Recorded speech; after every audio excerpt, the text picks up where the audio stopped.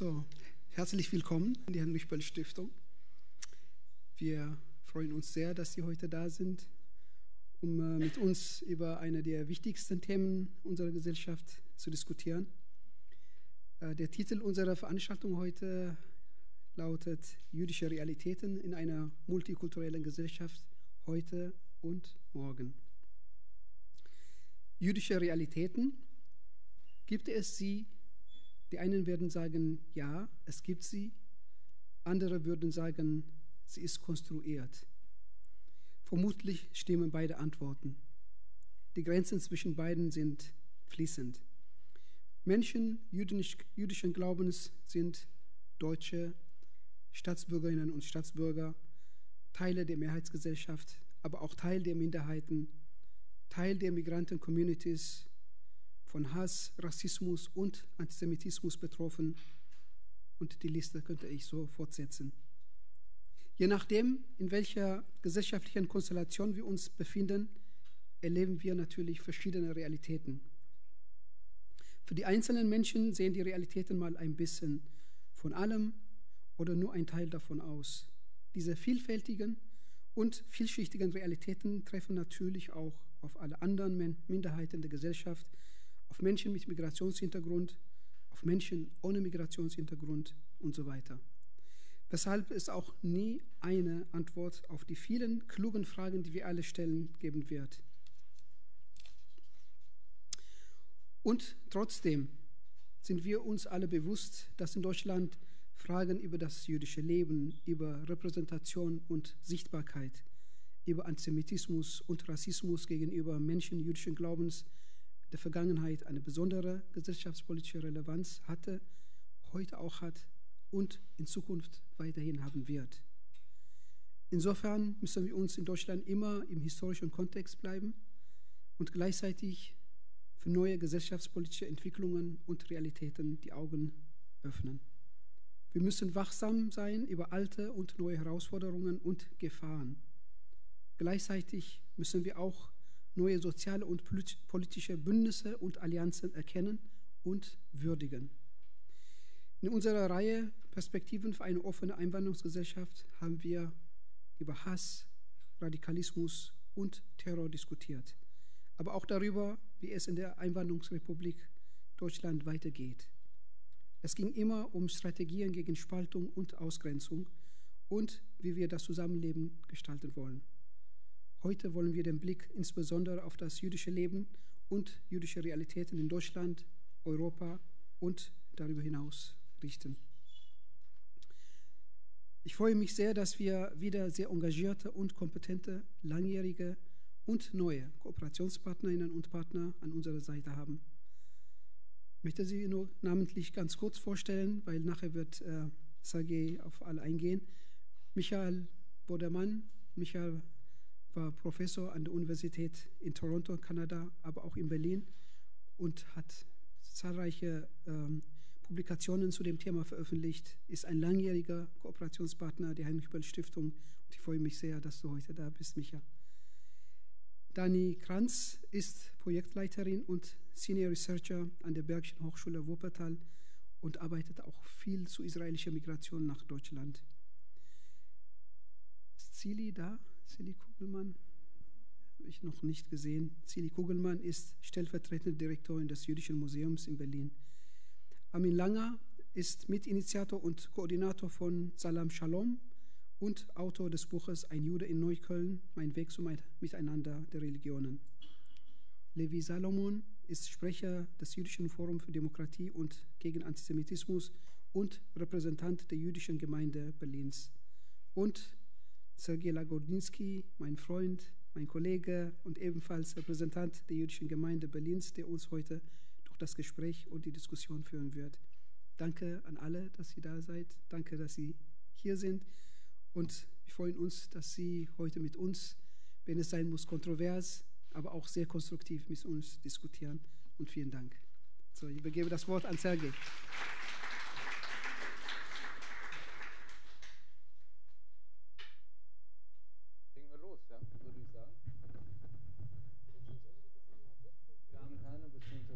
Sitzordnung. Ich glaube, das ist auch nicht, nicht erforderlich.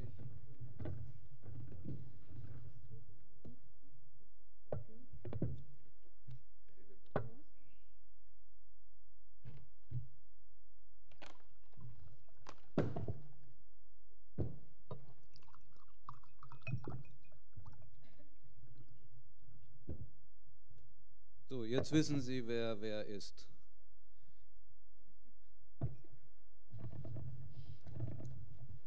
Jetzt zurzeit fünf Leute mit fünf verschiedenen Namen, eine davor Frau. Das ist ja auch, da müssen wir auch noch daran arbeiten, dass wir ein paar mehr Judinnen hier auf dem Podium haben. Aber Silly ist ja auf dem Weg, hoffentlich. Und alle sind Juden und Judinnen. Äh, insofern viel zu besprechen. Äh, Mekon, vielen Dank für die Vorstellung und auch für das Gebot der Stunde, kontrovers, aber konstruktiv zu diskutieren. Ich glaube, das schaffen wir. Ähm, sowohl konstruktiv als auch kontrovers hoffentlich.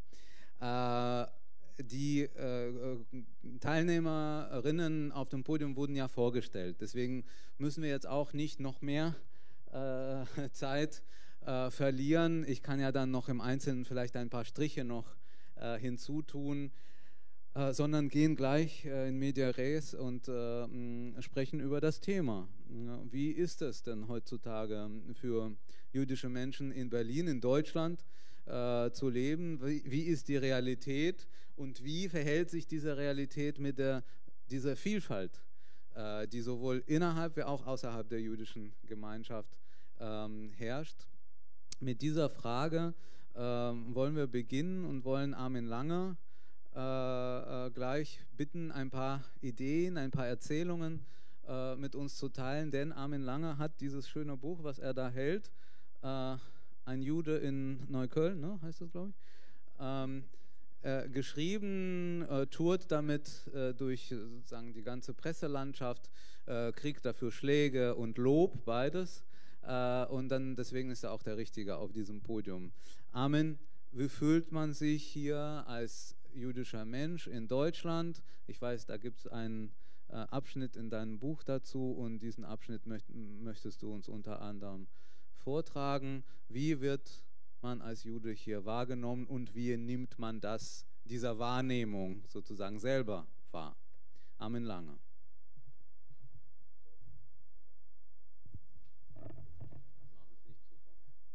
Okay, ja, äh, dann kann ich besser lesen.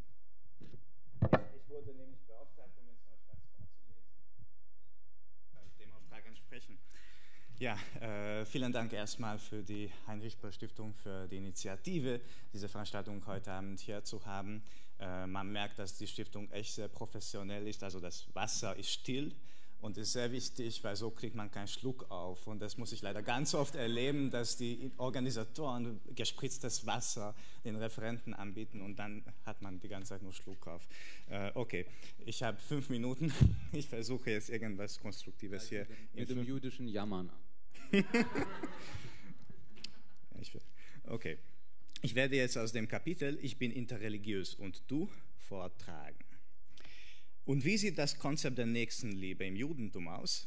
fragte Pfarrer Gerhard. Der Mit-50er, der zwischen einem anderen Pfarrer und mir auf dem Podium saß, guckte mich hoffnungsvoll mit seinen großen grauen Augen an, als müsste ich nun die größte Frage seines Lebens beantworten. Echt jetzt? dachte ich im Stillen. Ich hatte diese Frage schon tausendmal beantwortet, schaute auf die kleine aufgeregte Zuhörerschaft. Wow, ein echter Jude, die fast ausschließlich aus älteren Frauen bestand.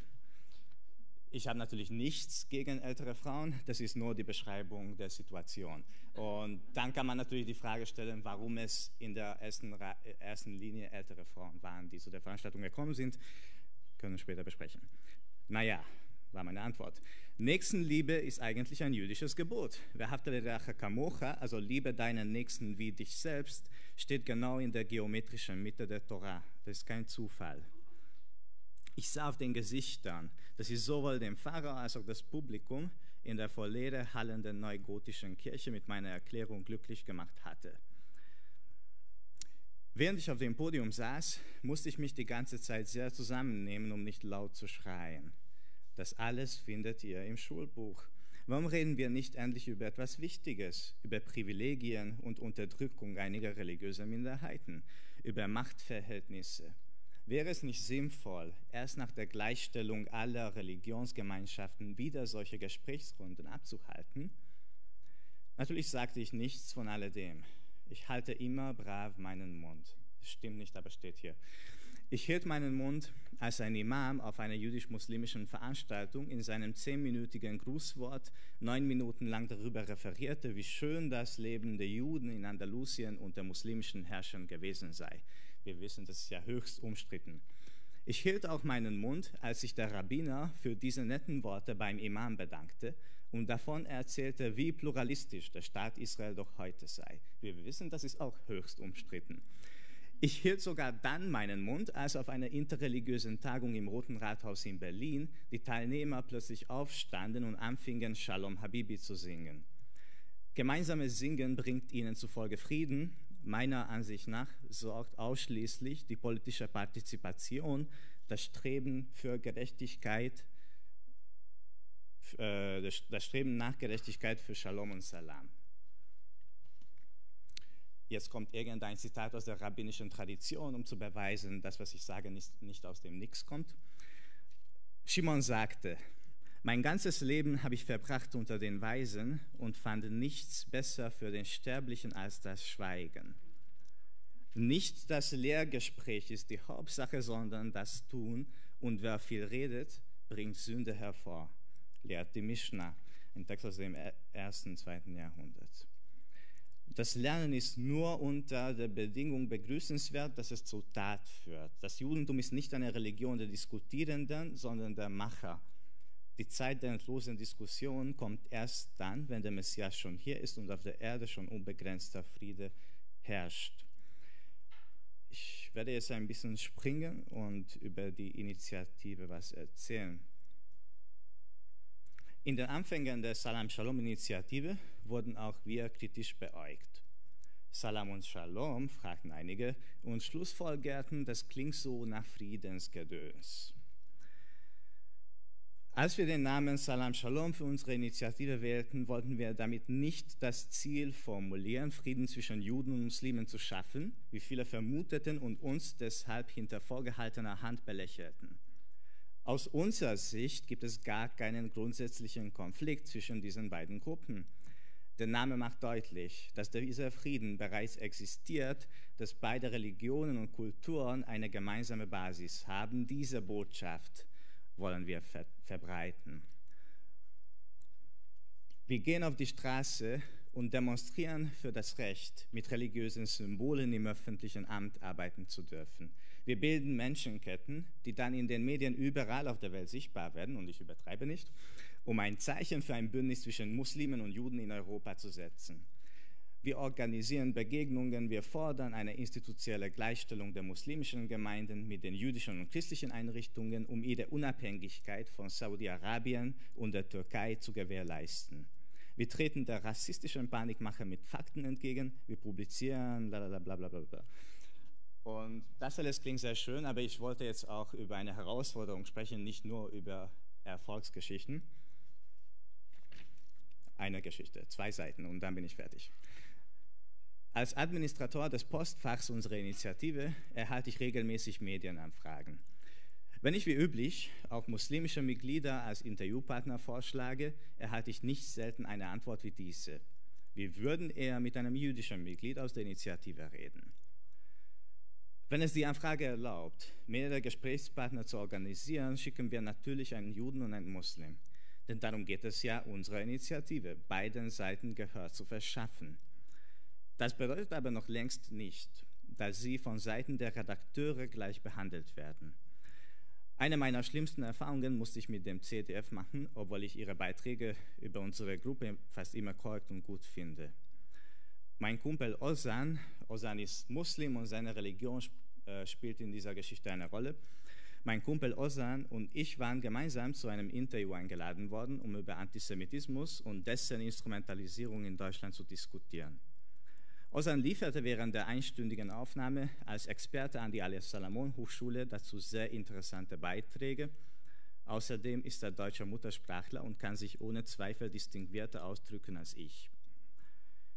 Im gesendeten Beitrag wurde dennoch nur ich mit vollem Namen erwähnt.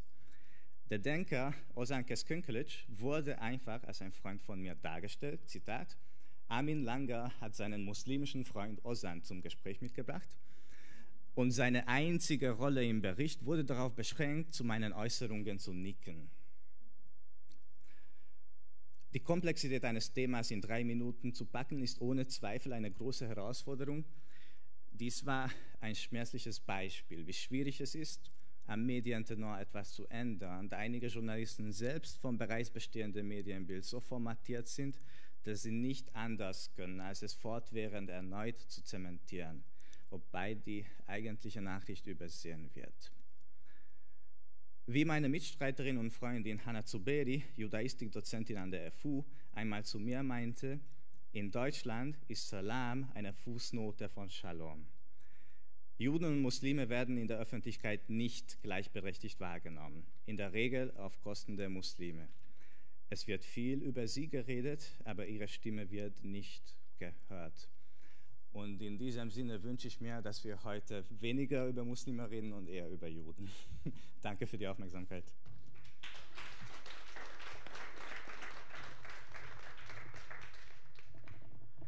Danke. Ähm, jetzt habe ich so ein bisschen Hemmungen, überhaupt dieses Podium zu bestreiten, ob es nicht zu viel Aufmerksamkeit für äh, diese jüdische Minderheit auch durch dieses Podium äh, äh, geschaffen wird. Trotzdem wollen wir, weil es eben thematisch so ist, ähm, uns diesem Thema widmen. Ähm, Armin Lange ähm, plädiert sozusagen für die Gleichstellung aller Religionsgemeinschaften. Er sagt, ähm, dass es in Deutschland auch sozusagen eher die jüdische Minderheit vielleicht bevorteilt, aufmerksamer verfolgt wird. Und doch gibt es Diskussionen, die davon zeugen, dass die jüdische Realität auch nicht einfach ist und gerade die jüdische nicht einfach ist. Ich erinnere mich an die Diskussion über die Friedenauer Schule, wo exemplarisch sozusagen ein Junge jüdischer Herkunft gemobbt wurde, nur weil er Jude ist. Levi Salomon beschäftigt sich lange schon mit solchen Fällen. Er ist nämlich der ähm, erste äh, Beauftragter der jüdischen Gemeinde äh, für, gegen, also für den Kampf gegen Antisemitismus gewesen. Und äh, seit dem Ausscheiden aus diesem Amt hat er das jüdische Forum äh, ähm, äh, gegen Antisemitismus für Demokratie äh, gegründet, ist dort jetzt Geschäftsführer seit vielen Jahren. Levi, wie ist deine Wahrnehmung dieses komplexen Phänomens Antisemitismus und was ist der Stand der Dinge, wenn wir das angehen? Ist diese Aufmerksamkeit für die jüdische Minderheit auch in diesem Bereich gerechtfertigt? Müssen wir da mehr tun oder ist das vielleicht nur ein Phantom, äh, was diese Gesellschaft sich einbildet? Eigentlich war hier, vielen Dank, äh, eigentlich war hier eingeladen, dass es einen kurzen Vortrag halten, das ungefähr zehn Minuten. Äh, und wenn Sie gestatten, das würde ich das wahrnehmen, dass dieser Auftrag und erstmal, dass es über die Lage, über Antisemitismus wollte ich reden, das aus jüdischer Perspektive. Ich habe das als großer Respekt für die Minderheiten innerhalb, das ist die jüdische äh, Menschen, das ist welche vertritt, das ist Armin Lange, ich weiß nicht, dass nach meiner Erfahrung vielleicht eine Handvoll Menschen das vertreten, seine äh, äh, Ansichten. Äh, ich würde sagen, dass es mich, dass es im Mainstream, ich spreche so, wie spricht, das ist die Mehrheit, das ist die jüdische Gemeinschaft und dass die Salam eine Fußnote von Shalom, das kann ich überhaupt nicht teilen. Und ich finde, es ist äh, fragwürdig, das äh, formuliert. Aber über die Lage, das würde ich gerne, das, wenn es geht, das jetzt zu reden.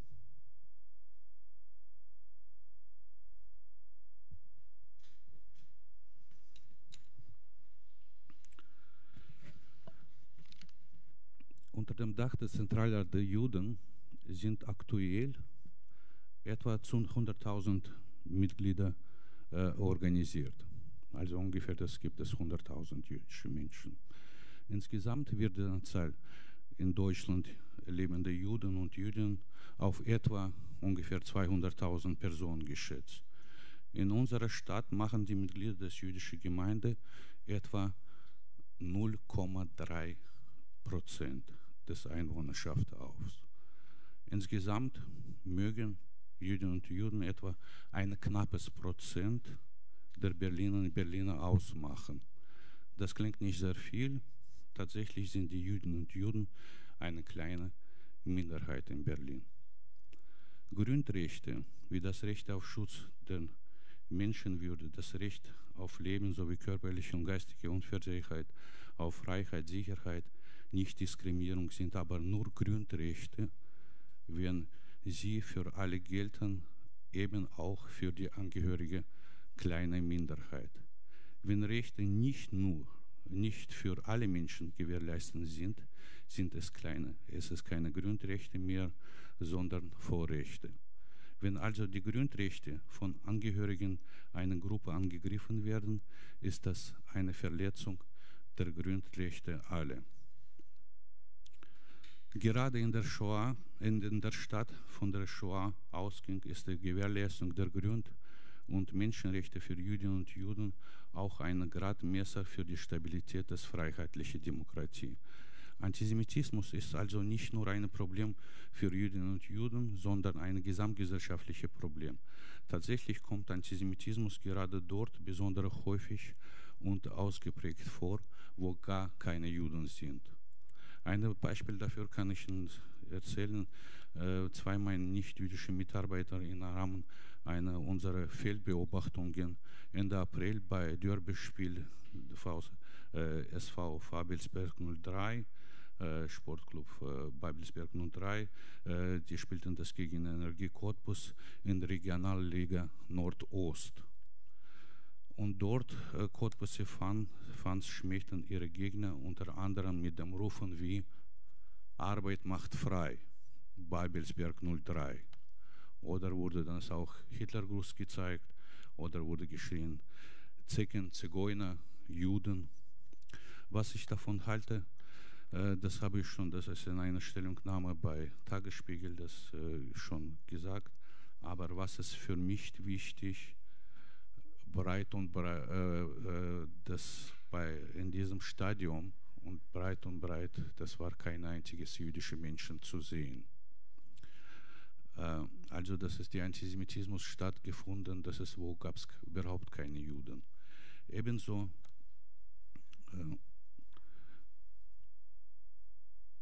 die antisemitische Volksverhetzungen also ganz ohne die Präsenz von Juden auskam. Ebenso gibt es Muslimfeindlichkeit ohne Muslime, Einwanderungsfeindlichkeit ohne Migranten, Flüchtlingsfeindlichkeit ohne Flüchtlinge äh, und auch sexistischer Chauvinismus äh, treibt die wildesten Blüten nicht selten dort, wo keine Frauen anwesend sind. Antisemitismus ohne Jüdinnen und Juden ist aber schon deshalb häufiger, da die jüdische Minderheit die zahlenmäßig kleinste ist. Hinzu kommt, dass Antisemitismus eben nicht irgendwelche eine Spielart von Rassismus ist. Bitte sehen Sie mir nach, dass ich diese Spezifika des Antisemitismus einmal mehr ausdrücklich benenne. Von dem Hintergrund aktueller Fälle scheint mir es notwendig. Erstens. Antisemitismus baut auf antijudaistische Mythen, Stereotypen, Feindbilder auf, die seit weit über 1500 Jahren in europäische Kulturen verbreitet und verankert wurden. Zweitens, die, Region, die gegen Juden und Juden äh, gerichtete Rassismus weist Besonderheiten auf, der entweder nicht mit jedwedigen Rassismus gleichgesetzt werden kann, so wird von Antisemiten der jüdischen Rasse eine quasi unheimliche Überlegenheit und Macht zugeschrieben, die ansonsten für rassistische Ausgrenzungen und Abwertungen untypisch ist. Denn die Juden, denn die Juden zugeschriebene Macht ist auch die Grundlage von Verschwörungsideologien, die den Antisemitismus in besonderer Weise kennzeichnen. Der rassistische Antisemitismus mündete in der Shoah. Der Post-Shoah-Antisemitismus versucht dies, dieses historische Menschenverach, Menschen, äh, Menschheitsverbrechen zu relativieren und den Opfern Shoah die Bezugnahme auf den millionenfachen Judenmord vorzuwerfen. Der israelbezogene Antisemitismus versucht einerseits, alle Jüdinnen und Juden für die, äh, die Regierungspolitik des Staates Israel in Haftung zu nehmen und andererseits durch die Dämonisierung des Staates Israel die Shoah zu relativieren und letztlich die Opfer der Shoah zu Tätern und zu definieren. Schließlich zitiert er den strukturellen Antisemitismus, judenfeindliche Stereotypen und Verschwörungsmythen, ohne das Feindbild der Juden ausdrücklich zu benennen. So verfestigt sich äh, der strukturelle Antisemitismus de facto Judenfeindlichkeit ohne Juden. Eine schlichte Gleichsetzung der judenfeindlichen Diskriminierung und Hassideologien mit anderen Erscheinungsformen gruppenbezogener Menschenfeindlichkeit machen diese Besonderheiten des Antisemitismus unmöglich. Die deshalb spezifische Auseinandersetzung mit Antisemitismus bleibt aber notwendig, weil Antisemitismus Jüdinnen und Juden und ihre äh, Lebensgestaltung eingegrenzt, äh, ein, eingrenzt, da er im sozialen Umfeld zu finden ist. Somit sind Juden und Juden alltäglich in der Wahrnehmung ihrer Grundrechte beeinträchtigt bzw. alltäglich in ihren Grundrechten angegriffen. Diese Grenzen, diese Beeinträchtigung sind als menschenfeindlich zu bezeichnen. Die Zahl antisemitischer Straftaten ist, wie die Straftaten im Zusammenhang äh, Vorurteils motivierten Kriminalität insgesamt in den letzten Jahren wieder gestiegen. Zwar sind die in der polizeilichen Kriminalstatistik erfassten Fehler mit mutmaßlichen islamischen, isla, äh, islamistischen Motivationen in den letzten Jahren zurückgegangen, doch äh, auch wenn Antisemitismus ein gesamtgesellschaftliches Problem bleibt, empfinden viele Jüdinnen und Juden eine zunehmende Bedrohung von Seiten eines Antisemitismus, der sich auf den Islam beruft. Diese Wahrnehmung ist wohl nicht gründlos.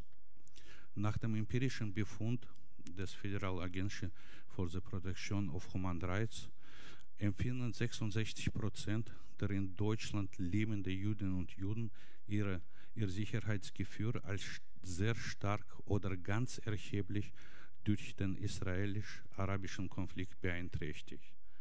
Die Befragung fand im Jahre 2013 statt und damit noch vor dem großen antisemitischen Welle im Zuge des Gaza-Konflikts Sommer 2014. Zwar scheint es einen Boden an antisemitischen Vorfällen zu geben, bei denen Muslime als Täter in Erscheinung treten, der qualitativ im Verhältnis zu anderen motivierten antisemitischen Straftaten nicht überproportional ist. Doch der Umstand, dass die Zahl mutmaßlich islamistisch äh, motivierten antisemitischen Straftaten regelmäßig signifikant zu, äh, zu steigen scheint, wenn es zu Eskalation in Auskonflikt kommt, legt nahe, dass hier eine besondere Problemlage zugrunde liegt.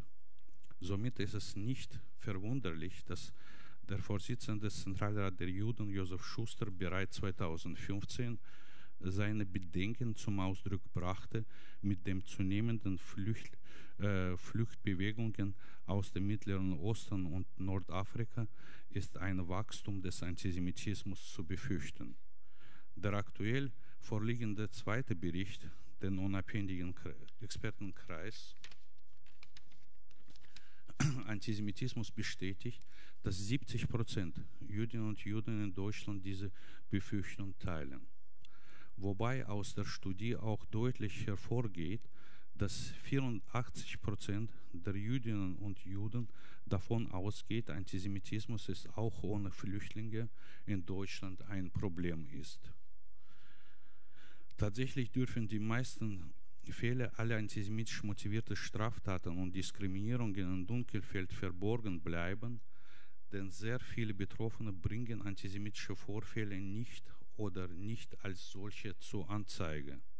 Sie haben sich nach Bekanntwerden des, der antisemitischen Vorfällen an eine Friedenauer Schule, nachdem ein jüdischer Schüler an eine andere Schule, eine andere Schule wechselte, weitere jüdische Eltern an das jüdische Forum gewandt. Wir haben das mehrere Gespräche gehabt mit vielen Menschen und von ähnlichen Vorfällen uns wurde berichtet. Insofern sind die jüngst bekannte, bekannt gewordenen antisemitischen Begriffe keine isolierten Einzelfälle, vielmehr sind judenfeindlich, jüdenfeindliche Straft- und Gewaltstraftaten eine prekäre, aber alltägliche Normalität. An vielen Schulen, nicht nur in Berlin, gehört die Gebrauch des Wortes Jude als Schimpfwort, ebenso wie die Äußerungen antisemitischer Stereotype seit Jahren zum Alltagswirklichkeit. Dabei fällt es vielen pädagogischen Fachkräften und weiteren Akteuren die schulische und außerschulische Bildung und Jugendarbeit schwer, Antisemitismus als solche zu erkennen und ihm handlungssicher zu begegnen. Tatsächlich werden Vorfälle, in deren Antisemitismus als Motiv relevant ist, oft nur als alterstypische Auseinandersetzung zwischen Jugendlichen wahrgenommen, bei denen antisemitische Beschimpfungen als eher zufällig gedeutet werden. Auch werden der Nahostkonflikt und der Politik der israelischen Regierung nicht selten ursächlich mit Judenfeindlichkeit assoziiert, obwohl diese auch Gegner des, der israelischen Regierung und oder nicht Israels betrifft. Nicht selten wird Antisemitismus, der von Tätern ausgeht, die sich als Muslime betrachten, als interreligiöser Konflikt gedeutet, auch wenn für die Feindseligkeit die religiöse Identität des Opfers unerheblich ist und die konkreten Täter weder eine Sure des Korans kannten, noch je in einer Moschee waren. Als Beispiel der Friedenauer Schule wird somit ein allgemeiner Bedarf deutlich. Handlungsfähigkeit gegenüber Erscheinungsformen des Antisemitismus in Alltagssituationen erfordert zunächst die Fähigkeit, Antisemitismus als solche zu erkennen. Sie erfordert ebenso die Kenntnis gemeinsamer und übergreifend wirksamer Muster der Stereotypisierung, Diskriminierung und Ausgrenzung wie die Kenntnis der Besonderheit des Antisemitismus. Und sie erfordert eine ausgeprägte Handlungskompetenz im Umgang mit Diskriminierung in allgemeinem sowie mit Antisemitismus im Besonderen die über die bloße Ablehnung von Diskriminierung und die allgemeine Forderung nach gegenseitiger Toleranz hinausgeht. Denn Antisemitismus eben nicht bloß mangelnde Toleranz gegenüber den Juden. Antisemitismus motivierte Handlungen, die von Tätern ausgehen, die sich als Muslime und die Ablehnung von Juden als Teil ihrer muslimischen Identität verstehen, können keine vorgeblich jüdische Muslimfeindschaft gegenübergestellt werden. Bildungs ich bin schon noch 30 Sekunden. Bildungsformate, die etwa mit Blick auf die israelbezogenen Antisemitismus letzt, äh, letztlich darauf hinauslaufen, im Nahostkonflikt nur mit allen Opfern auf beiden Seiten mitzufühlen und, und Diskriminierung im Allgemeinen abzulehnen, führen noch nicht zu einer Handlungsfähigkeit in der Auseinandersetzung mit spezifisch antisemitischen Stereotypen und Verschwörungsideologien. Äh, deshalb äh, arbeitet das Jüdische Forum in seinen Bildungsprojekten an der Entwicklung und Weiterentwicklung von Formaten, die einerseits der Auseinandersetzung mit Grundmuster des Diskriminierung, Stereotypisierung und Ausgrenzung fordern, andererseits aber auch der spezifische Handlungsfähigkeit gegenüber Antisemitismus im Blick nehmen. In die Bearbeitung von Erscheinungsformen gruppenbezogener Menschenfeindlichkeit wird dabei eine jüdische Perspektive eingebracht. Für die jüdische Realität in einer multikulturellen Gesellschaft von heute und von morgen könnte es um mehr gehen als die Frage nach Möglichkeit der Bekämpfung von Antisemitismus. Es könnte um die Frage gehen, wird es in Deutschland eine Lebensrealität für Jüdinnen und Juden ohne Beschränkung in der Lebensgestaltung ohne Stereotypisierung, ohne Gefährdung, ohne Antisemitismus geben. Wird der restliche große Teil der multikulturellen Gesellschaft das dies unterstützen? Diese Frage möchte ich Ihnen mit auf den Weg geben und bedanke mich für Ihre Aufmerksamkeit. Oh, vielen Dank.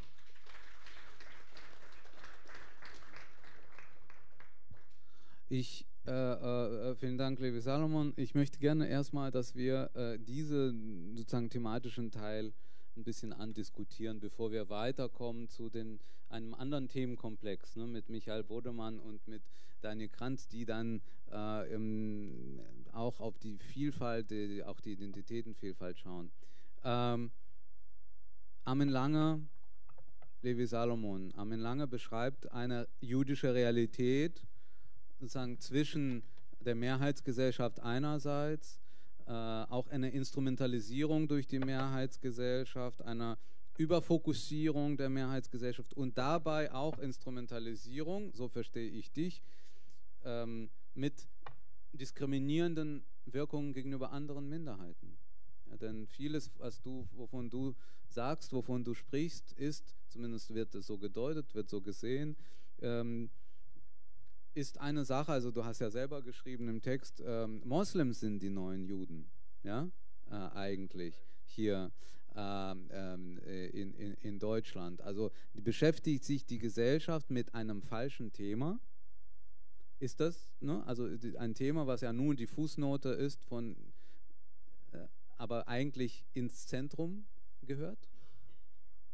Ähm, ja, das funktioniert also im Text habe ich eigentlich nicht geschrieben, dass Muslime die neuen Juden wären, aber niemand hat den Text gelesen, nur den Titel. Aber das ist ja üblich. Im Text steht, dass Muslime nicht die neuen Juden sind, obwohl sie äh, ähnlichen äh, Ausgrenzungsmechanismen ausgesetzt sind, wie die Juden im 19. Jahrhundert waren.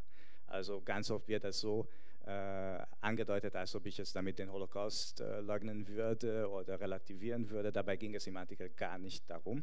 Aber ist jetzt äh, egal also ich persönlich interessiere mich nicht für Muslime, ich muss Sie sagen. Ich interessiere mich auch nicht, gar nicht für den Islam. Ähm, mich interessiert einfach äh, die gerechte Behandlung aller Minderheiten in der Bundesrepublik. Ich bin in Ungarn aufgewachsen und ich war in Ungarn auch politisch aktiv und ich habe gar nichts mit Muslimen zu tun gehabt. In Ungarn äh, sah mein Aktivismus äh, hauptsächlich in der Arbeit mit Roma aus, weil eben in Ungarn die, die äh, Minderheit, die am häufigsten an Hass in der Öffentlichkeit, aber auch ähm, in unterschiedlichen sozialen Ebenen äh, ausgesetzt ist, das ist die Roma-Community. Und ich als Jude, der aus einer äh, gebildeten, äh, privilegierten Familie kommt, wollte einfach meine Solidarität mit den Roma ausdrücken. Und jetzt in Deutschland mache ich das Gleiche, nur eben nicht mit den Roma oder nicht nur mit den Roma, sondern äh, hauptsächlich mit Muslimen.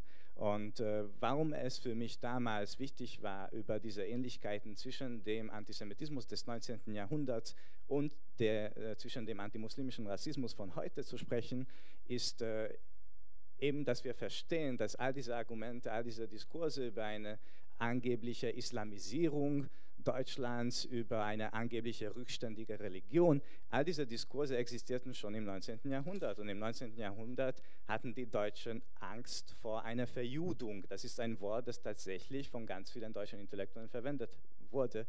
Äh, und sie haben den, das Judentum als die rückständige Religion beschrieben und so weiter. Das ist, es gibt nichts Neues unter der Sonne. Und das ist einfach mein Punkt.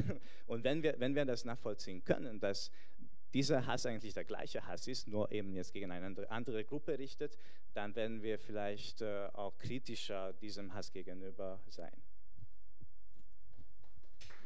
Äh,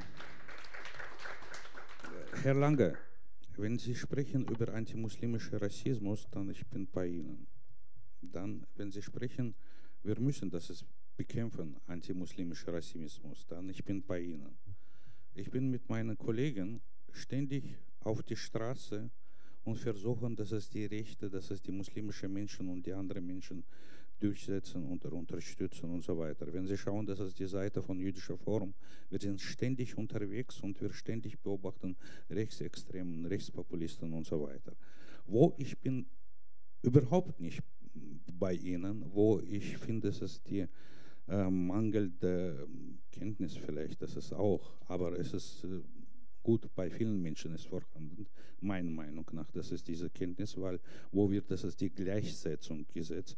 Wie Sie haben das gesagt, Muslime ähnliche Ausgrenzung, Mechanismen wie die Juden nach 19. Jahrhundert. Eben nicht, nicht mal geringste. Es ist die neue Formen. Wenn wir sprechen über Rassismus, ja, die Muslime, das ist viele Muslime sind ausgesetzt, diese rassistischen Tendenzen. Aber Antisemitismus es ist keine Form, das ist von Rassismus, es ist ganz, ganz anderes. Im 19. Jahrhundert wurden antisemitische Parteien gegründet. Im 19. Jahrhundert, das ist die Mitglieder, dass diese Parteien saßen, das ist im Parlament, in deutschen Parlamenten. Im 19. Jahrhundert, wir haben das ist die Treitschke-Debatte, Mar, wir haben das gehabt. Und wir haben das gehabt, dass jüdische Menschen, welche haben das nicht gleiche Rechte gehabt wie die Rest, das ist die Bevölkerung. Levi, Levi, äh, äh, also der, ein berechtigter Einwand wäre zu fragen, ob AfD nicht auch ähm, eine äh, antimuslimische Partei ist, wo sie sich doch ständig abarbeiten an, an Moslems? Äh, ich habe das irgendwann gesagt, dass wenn AfD kommt zur Macht, dann jüdische Menschen mit Muslimen zusammen müssen das die Koffer packen und Land verlassen. Äh, AfD es ist eine Partei, wo meiner Meinung nach, dass es kommt, dass es gewisse Gefahr von dieser Partei. Aber AfD es ist nicht die Partei, das ist welche vergleichbar zu diesen antisemitischen Parteien im 19. Jahrhundert. Es ist ganz, ganz anderes. Und das kann man nicht mal geringste, das ist vergleichen. Wenn wir darf jetzt, ich, wenn darf wir ich jetzt, kurz reagieren? äh, Du, du äh, kannst gerne, aber danach würde ich gerne doch in die jüdische Realitäten vom Jetzt kommen, also sozusagen auch von, nach diesem geschichtlichen Exkurs. Aber Okay, natürlich. ich, ich, ich werde ein bisschen lustig darauf reagieren. Wissen, wisst ihr, wo der erste internationale Kongress der Antisemiten stattfand? Erster internationale Kongress der Antisemiten hieß so 1896 in Dresden. Und äh, wir, wir sprachen jetzt über Parallele. Ich habe nichts gegen Dresden, ist eine wunderschöne Stadt, echt. Und es gibt eine sehr gute Bäckerei in der Innenstadt. Nee, ähm, Begida, der Treitschke von heute heißt Sarrazin. Äh, ich, ich stimme euch sehr gerne zu, dass die AfD tatsächlich eine Antis oder ich weiß nicht, ob du das so formuliert hast, aber es gibt Äh, ein, ein, ein Verharmlosung ganz des klares. Antisemitismus. Das ist, äh, es ist für mich, es ist wirklich nicht akzeptabel, sowas zu hören. Gut, also äh, sozusagen, das ist eine geschichtliche Frage und da brauchen wir einen Historiker oder Historikerin, die uns da äh, aufklärt. In der Tat, sozusagen sogar wenn, wenn es vergleichbar wäre im 19. Jahrhundert, was sagt es uns für, äh, über, über die Situation von jetzt? Ne? Also um das jetzt hierher zu bringen.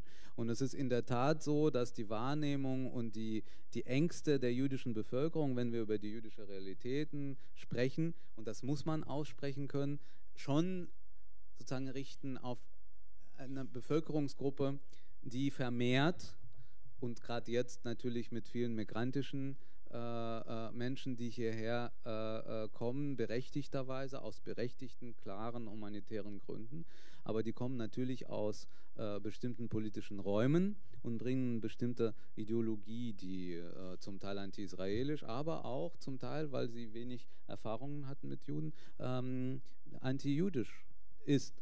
Ähm, ich weiß, dass auch sozusagen von dir ähm, äh, kommt eine Behauptung, man kann in Neukölln als Jude erkennbar laufen und so weiter, man wird akzeptiert. Viele jüdische Menschen machen andere Erfahrungen.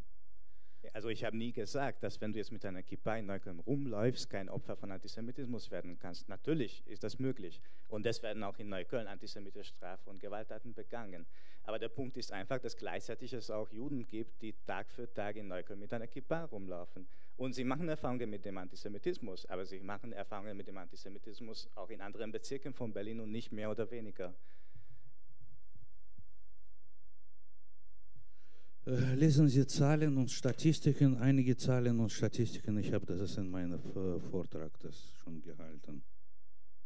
Ähm, gut, also äh, ich glaube, das haben wir jetzt sozusagen als Anlauf gut ausdiskutiert und jetzt gehen wir zu den Akademikern unter uns, akademischen Forschern unter uns. Ja? Also weg von der Straße, weg von bücherschreibenden Studenten äh, und Aktivisten. Äh, wir haben äh, Michael Bodemann, der wurde ja vorgestellt, ein Professor, äh, äh, der hier in Berlin und in Kanada forscht und arbeitet und äh, er äh, hat sich Gedanken darüber gemacht, ähm, wie sozusagen, was sind die ideologischen Funktionen und ideologischen äh, Ge Gehalte, ja, sozusagen die, die jüdische Menschen äh, hier in dieser Gesellschaft entweder selber anwenden, erarbeiten, mit sich tragen oder von dieser Gesellschaft denen auch zugeschrieben äh, werden.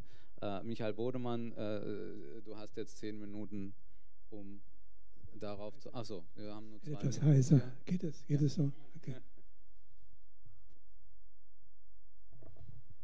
Ja, also ich möchte jetzt direkt in die Jetztzeit einsteigen und äh, Zumindest ein bisschen näher als 19. Jahrhundert. An ja, ja, äh, absolut, total, ganz, ganz nah. Und ich äh, zitiere deshalb das Folgende hier: Die Juden dürfen nicht verfolgt, nicht getötet, ja nicht einmal vertrieben werden. Deswegen sind sie in alle Gegenden zerstreut worden, damit sie Zeugen unserer Erlösung sind, während sie überall die gerechten Strafen für eine solche Untat büßen. Sie ertragen harte Gefangenschaft unter den christlichen Fürsten. Das ist ein Schreiben von Bernard von Clairvaux aus 1146. Und ich würde argumentieren, also ganz gen- genau, weil genau diese Haltung, äh, die völlig die, die, die uns bis heute prägt. Und ich beschreibe das als ideologische Arbeit, die Minoritäten äh, äh, performieren, veranstalten für die Gesamtgesellschaft. Und jetzt gehen wir ein bisschen näher ran an die Jetztzeit. Und zwar will ich das jetzt ein bisschen e- exemplarisch darstellen für die äh, jüdische Gemeinschaft heute. Das heißt genau nach, nach 45. Und wie konstitu konstituierte sich damals die jüdische Gemeinschaft in Deutschland, Westdeutschland vor allem jetzt hier, äh, nach 45? Ja, da war ein Rabbiner Weinberg, der Rabbiner im Osten war und dann später in Österreich im, in, den Lager, in, in den DP-Lagern, kam nach, Frank nach Frankfurt und sprach von einem fremden asiatischen Volk, nämlich den Juden, die in Deutschland jetzt äh, kampierten im Grunde, nämlich den Juden. Äh, ähnlich war diese Grundstimmung vor 1950, 49, 50, anderweitig auch. Zum Beispiel der neu gegründete Zentralrat, die, die Funktionäre, die leitenden Funktionäre dort sprachen zum Beispiel davon, dass, nachdem sie beschrieben haben, wie die Aufbauarbeit in Palästina, Israel gerade stattfand, so gilt unser erster Gruß zum Jahreswechsel den verantwortlichen Männern unserer Regierung. Ja, Adenauer wahrscheinlich oder so. Im Heiligen Land, der verehrungswürdigen Gestalt des Staatspräsidenten Professor Weizmann und dem von dynamischer Schaffensfreude erfüllten Ministerpräsidenten Ben Gurion und so weiter. Mit anderen Worten, die Identifizierung war völlig abgehoben von der deutschen Situation selber. Und ähm, ich würde behaupten, dass erst dann anschließend eine ideologische Arbeit in, für die Juden, die jüdische Minorität dann stattgefunden hat. Und zwar gegen den, wurden eingestellt, im Grunde wurden engagiert im Kampf gegen die spätnarzistische Phase nach 45, die ungefähr so 15 Jahre gedauert hat. Wenn man an Leute wie Klopke, Oberländer und so weiter denkt, die damals ja äh, in der Regierung, in der Regierungsfunktion waren. Gleichzeitig allerdings zu der Zeit hat sich Folgendes herausgebildet, eine zweiarmige Formierung der jüdischen Gemeinschaft, nämlich einerseits die vor allem aus dem Osten kamen, kommenden Displaced Persons, die in einem Kokon, abgeschlossen von der deutschen Gesellschaft, sich eine neue Formation herausgebildet haben. Und andererseits die äh, deutschstämmigen Juden, die zum Teil zurückkamen und äh, eine, ein Engagement mit der deutschen Gesellschaft äh, damit begonnen hatten. Allerdings, um das erst möglich zu machen, gab es interessanterweise 1949 eine, eine sogenannte Heidelberger Konferenz mit John McCloy, dem High Commissioner, dem amerikanischen High Commissioner, der sagte, nein, Juden, und diese Leute waren natürlich vor allem da, daran orientiert, nach aus, aus Deutschland wegzugehen, nach Palästina, Israel, USA und so weiter. Und dieser amerikanische High Commissioner sagte, nein, Juden müssen in Deutschland bleiben als Litmus, als Lackmustest für die deutsche Demokratie. Die deutsche Demokratie. Und das, mit anderen Worten, das ist die Funktion, die die Juden damals äh, dann übernommen haben für, den, für die restlichen, die nächsten Jahrzehnte. Erstmal als, als Mittel, als aktives Mittel gegen den Narzissmus, denn wo Juden sind, können ja keine Nazis sein. So ungefähr, das war so die Argumentation. Mit anderen Worten, der Lackmustest für die deutsche Demokratie. Zweitens, die Verreligiosierung des Diskurses im Westen, natürlich im, in der DDR war das anders.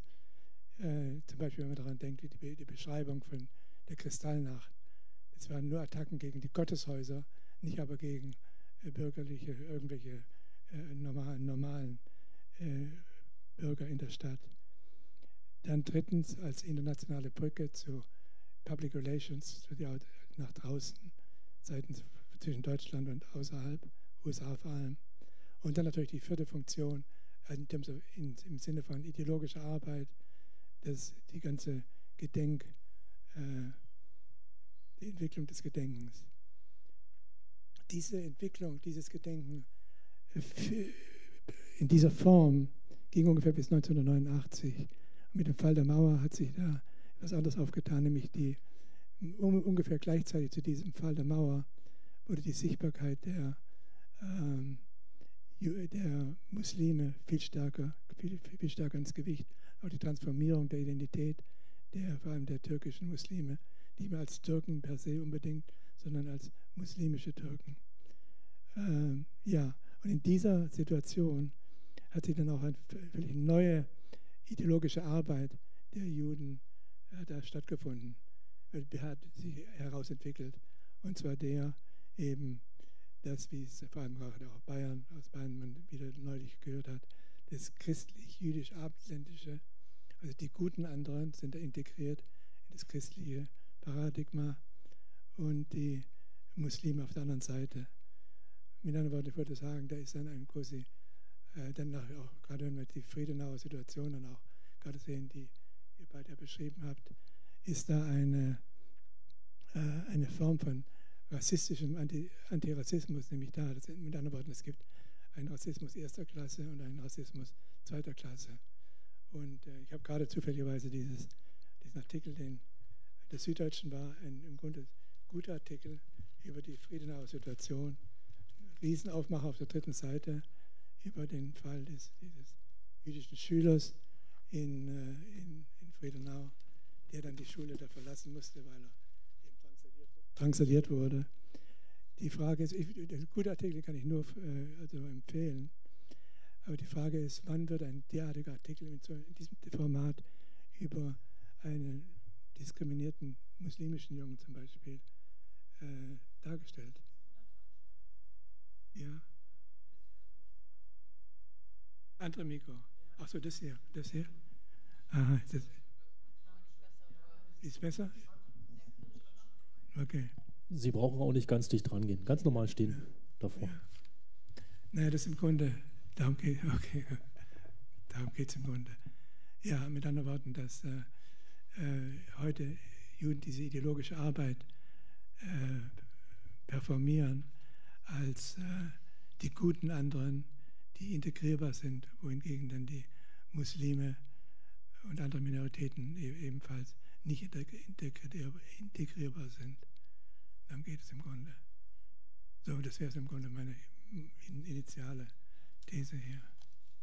Ja, vielen Dank. Ähm, eine interessante These.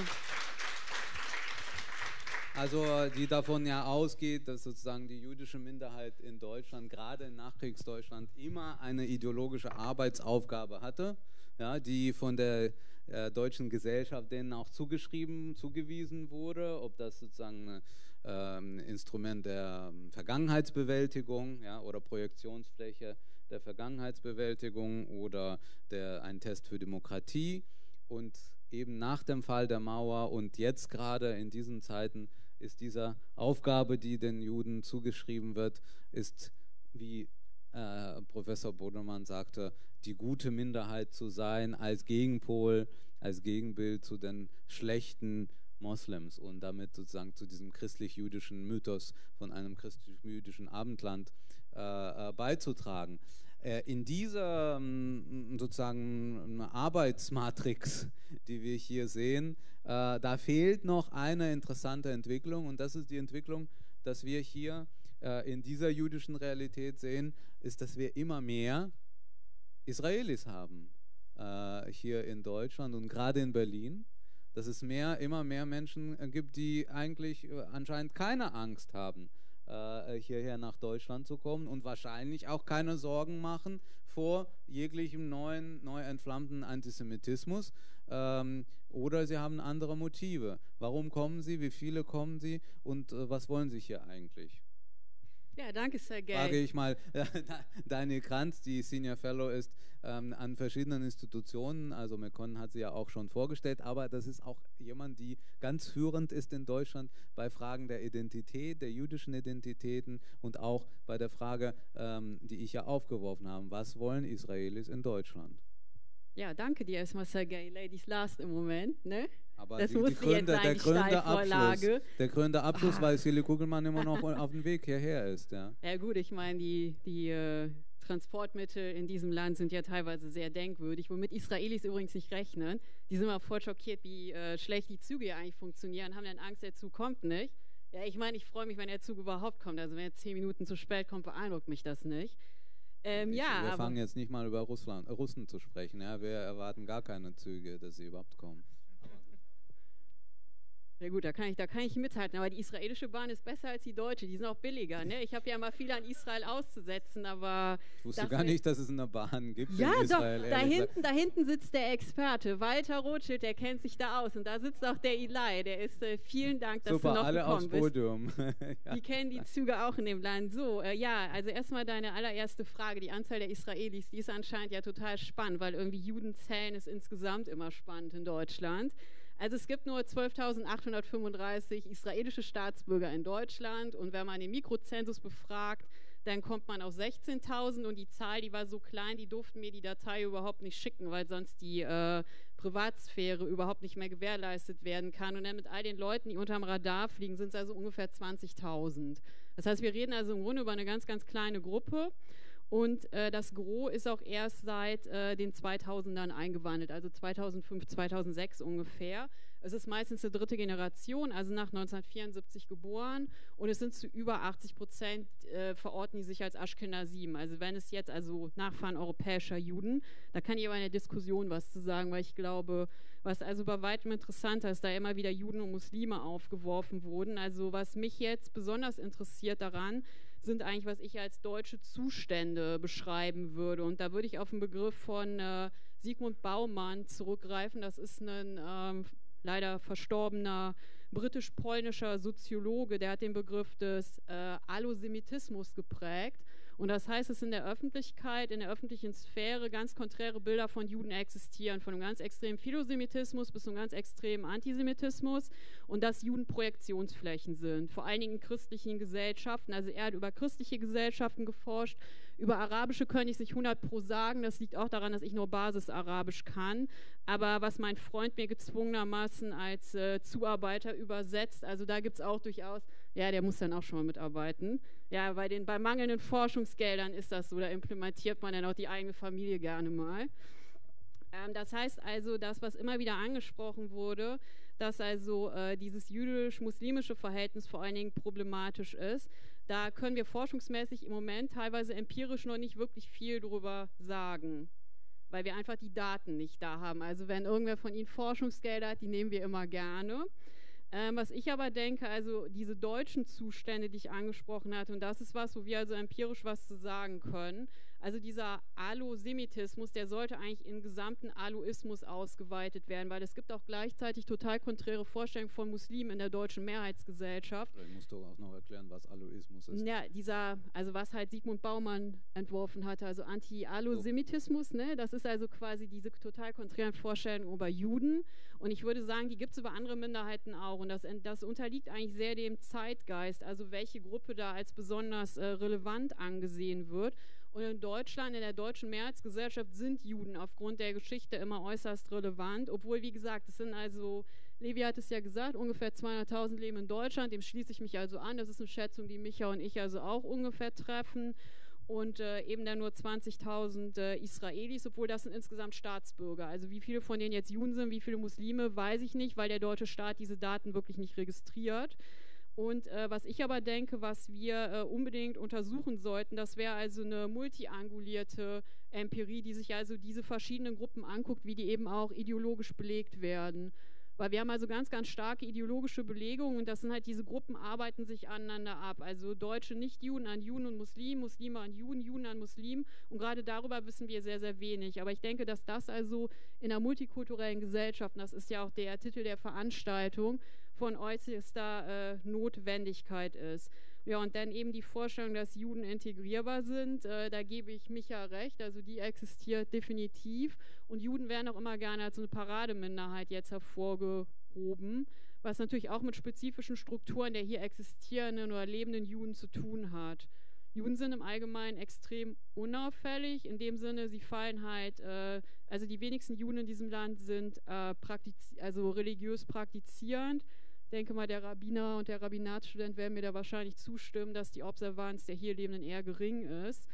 Und von daher kleiden sie sich auch in keinster Form auffällig. Das heißt also, im Gegensatz zu Muslimen werden sie nicht als anders wahrgenommen. Das Gros aller Juden, die hier leben, sind Ashkenazim, also europäischer Herkunft.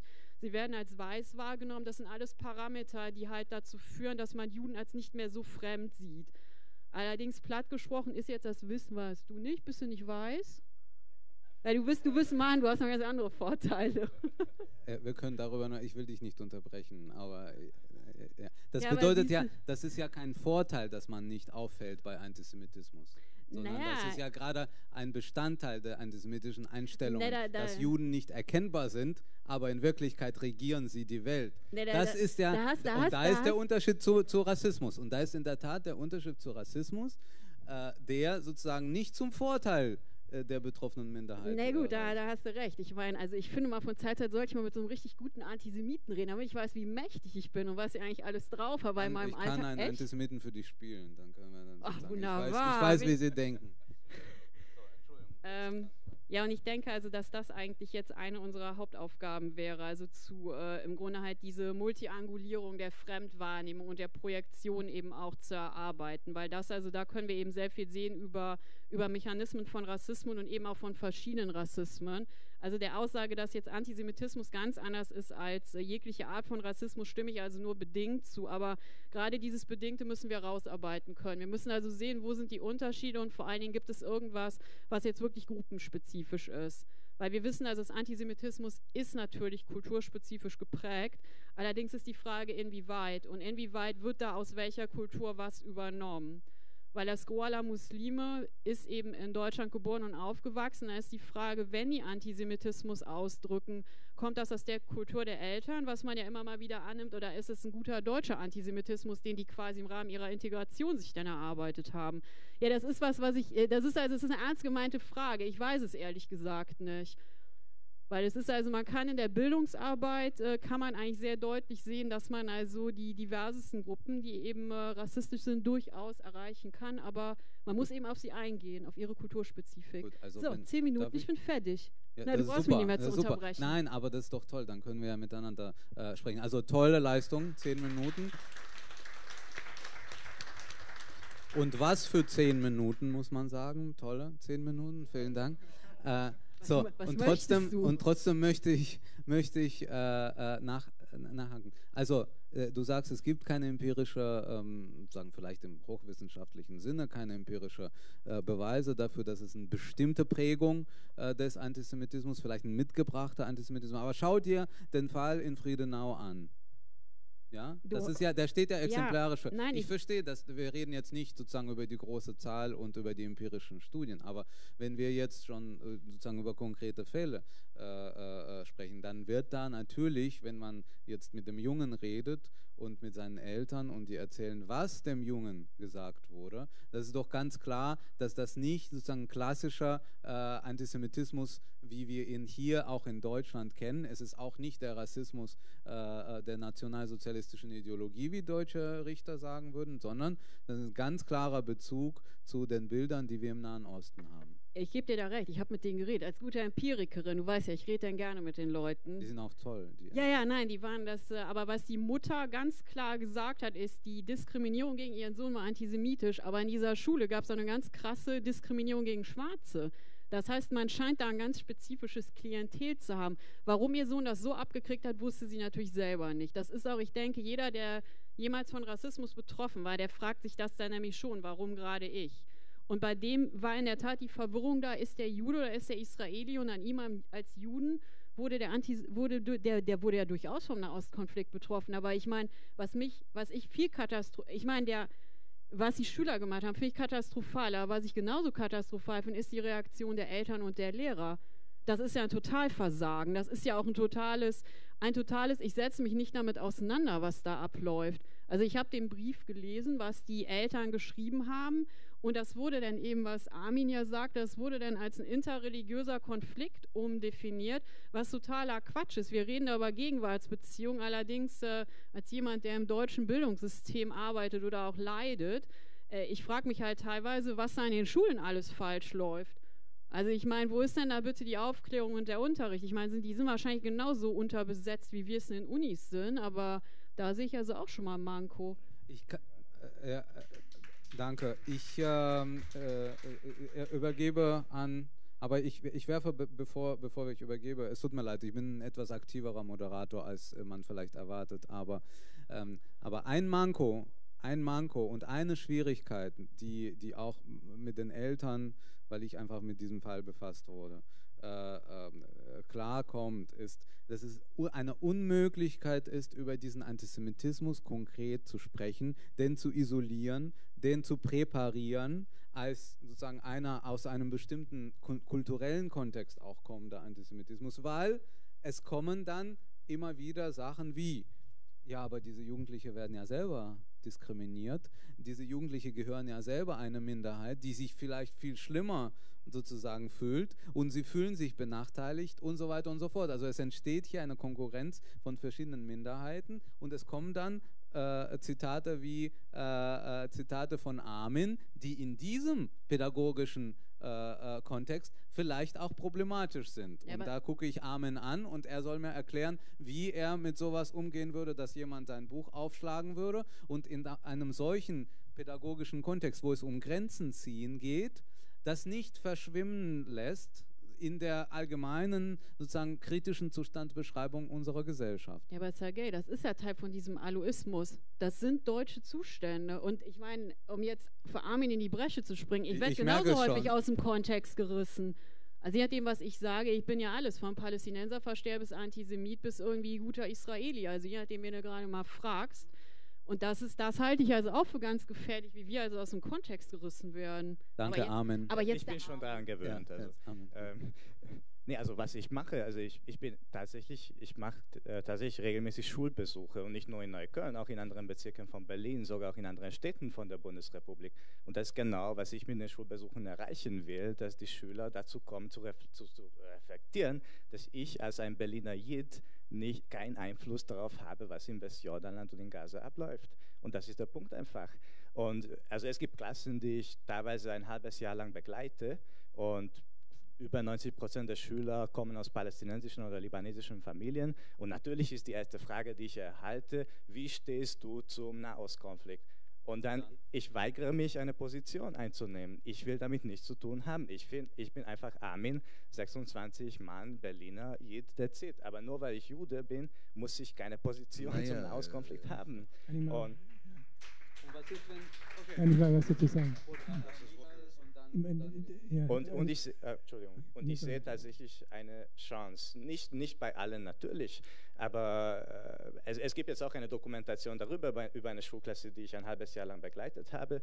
Die können, äh, könnt ihr alle im Museum Neukölln äh, euch anschauen. Und da kann man tatsächlich sehen, dass am Anfang der Schüler, er hieß Ahmed, kommt aus einer palästinensischen Flüchtlingsfamilie, äh, der mich noch mit dem Nahostkonflikt konfrontiert hatte, am Ende mit mir nur über, darüber redet, wo man am best, das beste Falafel in Neukölln kaufen kann. Und wir streiten darüber, wo der beste Falafelladen in Neukölln ist. Wir sind ja. unterschiedlicher Meinung. Jetzt sind die Israelis auch mehr davon, mehr, mehr, davon sollte eben in den, in den Schulen passieren. Ich meine, gerade der Artikel aus der Süddeutschen über den, über den Fall zeigt sehr klar die, die völlige Unfähigkeit an vielen Schulen, um mit Rassisten, Rassismus und Antisemitismus umzugehen. Ich sage das deshalb, weil in, in meiner Heimatstadt Toronto äh, eben das wirklich eine ganz andere Sache ist, wie die Juden damals sagten, bei uns zu Hause, aber so ist es jedenfalls hier. Nämlich, dass in den Schulen äh, der, der Stolz geweckt wird, die eigene Kultur, die eigenen Feiertage und so weiter in einem Klassenzusammenhang zum Beispiel darzustellen. Und die und alle diese Minoritäten und deren Kulturen irgendwie äh, hervorzuheben. Das passiert eben hier nicht, das ist das große Problem. werden wir wesentlich gelöst. Die Frage, das Problem ist äh, Rassismus allgemein. Innerhalb dessen natürlich Antisemitismus dann auch funktioniert. In einer besonderen Weise wie alle Rassismen speziell funktionieren. Wir haben in Kanada natürlich das Problem von den Aboriginals, die im Grunde so eine ähnliche Funktion, also eine Kernfunktion, das eine Negativfunktion ah. haben, wie ideologische Arbeit, wie das wir, wir hier beschreiben über Türken oder Muslime und Juden andererseits. Aber oder in den USA natürlich die, die Schwarzen. Kein. Ja. Äh, wenn ich darf, das etwas. Eigentlich nicht, aber bitte. okay, danke. Ähm, Rassismus ist es schlimm. Es ist wirklich schlimm. Alle Formen von gruppenbezogener Menschenfeindlichkeiten ist es schlimm. Äh, und kann man nicht sagen, dass es Antisemitismus schlimmer oder äh, Muslimfeindschaft ist es schlimm, antimuslimischer Rassismus. Alles ist schlimm. Es ist de facto, es gibt es die Unterschiede. Und wenn wir wollen, dass es bekämpfen antimuslimischer Rassismus, dann wir müssen das Instrumente einsetzen zur Bekämpfung antimuslimischer Rassismus. Wenn wir wollen, dass Antisemitismus bekämpfen, dann wir müssen das Instrumente einsetzen zur Bekämpfung Anti Antisemitismus. Und die Instrumente, die teilweise ähneln sich, aber im größten Teil, dass sie unterscheiden sich. Und das ist das die Problem. Wenn ich spreche, dass es über Antisemitismus und Unterschied zu Rassismus, ist es ganz einfach. Ganz einfach und ist es auch ganz schwer zu verstehen und zu begreifen. Ich erkläre, was ich meine. 2014 auf die Straße hier in die Nähe, das ist ein Potsdamer Platz, eine kleine Mädchen, ein arabisches Mädchen, vermute mal ein muslimisches Mädchen, äh, während einer Kundgebung mit Mehlkreide malt einen Teufel mit Davids Stern. Dann malt sie einen weiteren Teufel. Einmal eine weibliche Teufel, einmal männliche Teufel. Ich frage mich, wie kommt das? Ein muslimisches Mädchen malt einen Teufel. Teufel, es ist ein Element aus christlichem Antijudaismus, das kennen. In Islam das es gibt es sowas nicht. Aber es Transfer ist stattgefunden. Transfer ist es da. Seit 1840, dass es, wir wissen, dass es die im Damaskus, dass wir äh, waren, dass es die äh, erste antisemitische Pogrome, das ist organisiert, das damals das von französischer Botschaft äh, und etc. Und weiter im Zuge, dass die Protokolle weisen von Zion, im Zuge, dass es die Vichy-Regime, das ist äh, in Zeiten des äh, Zweiten Weltkriegs und, und etc. etc. Transfer und bis heute zutage, dass es Transfer, äh, Transfer geschieht. Aber jetzt müssen wir das verstehen. Was ist das? Antisemitismus oder Antijudaismus? Auf was aufgebaut das ist der Antijudaismus? Und was kommt nicht bei antimuslimischer Rassismus? Bei Antisemitismus oder religiöser Antisemitismus, religiöse Judenfeindschaft, es gibt, dass es eine Jude als Gottesmörder. Die Juden, das zentrale Motiv ist es Gottesmord. Und bei diesem Motiv das wird auch das gesagt, dass es die Juden haben das liebe Gott ermordet. Die Juden haben sie das Jesus ermordet. Wer kann das als Jesus ermorden? Wer kann das als Gott ermorden? Gott ist es kein Mensch. Gott ist es allmächtig. Wer ist es Pandom zu Gott? Pandom zu Gott ist es Teufel. Also, die Juden sind von Teufel und die Juden haben sie, das ist die Gott ermordet und demzufolge alle teuflische Eigenschaften, das es werden zu Juden zugeschrieben, und das ist weiter. Wenn wir schauen, dass es diese alle äh, Stereotypen und Mythen, mhm. was wir kennen aus Mittelalter, mhm. Woche Jude, dass die Jude, dass es welche Teufel, welche will, dass es die ganze ja. Welt versklaut, ja. Ritualmorde, Kindesmordlegende und etc. etc. etc. Sie, diese Motive, die kommen bis heute nach. Mhm. mhm. Und die kann man ganz klare Linie bei antimuslimischer Rassismus, das kommt nicht vor. Bei antimuslimischer Rassismus, das es kommt so, wie bei vielen Formen von Rassismus, da muss man das auch sehr, sehr viele, ich habe nicht so viel Zeit, zu Unterschiede zu erzählen aus meiner Sicht, aber da gibt es auch, das ist sehr viele, aber es ist immer, was ist die ja. Unterschiede, ja. was ist die schwarze Menschen, die äh, schwarze Dani, Menschen. Dani, du, du wolltest, du hast, äh, du wolltest was sagen?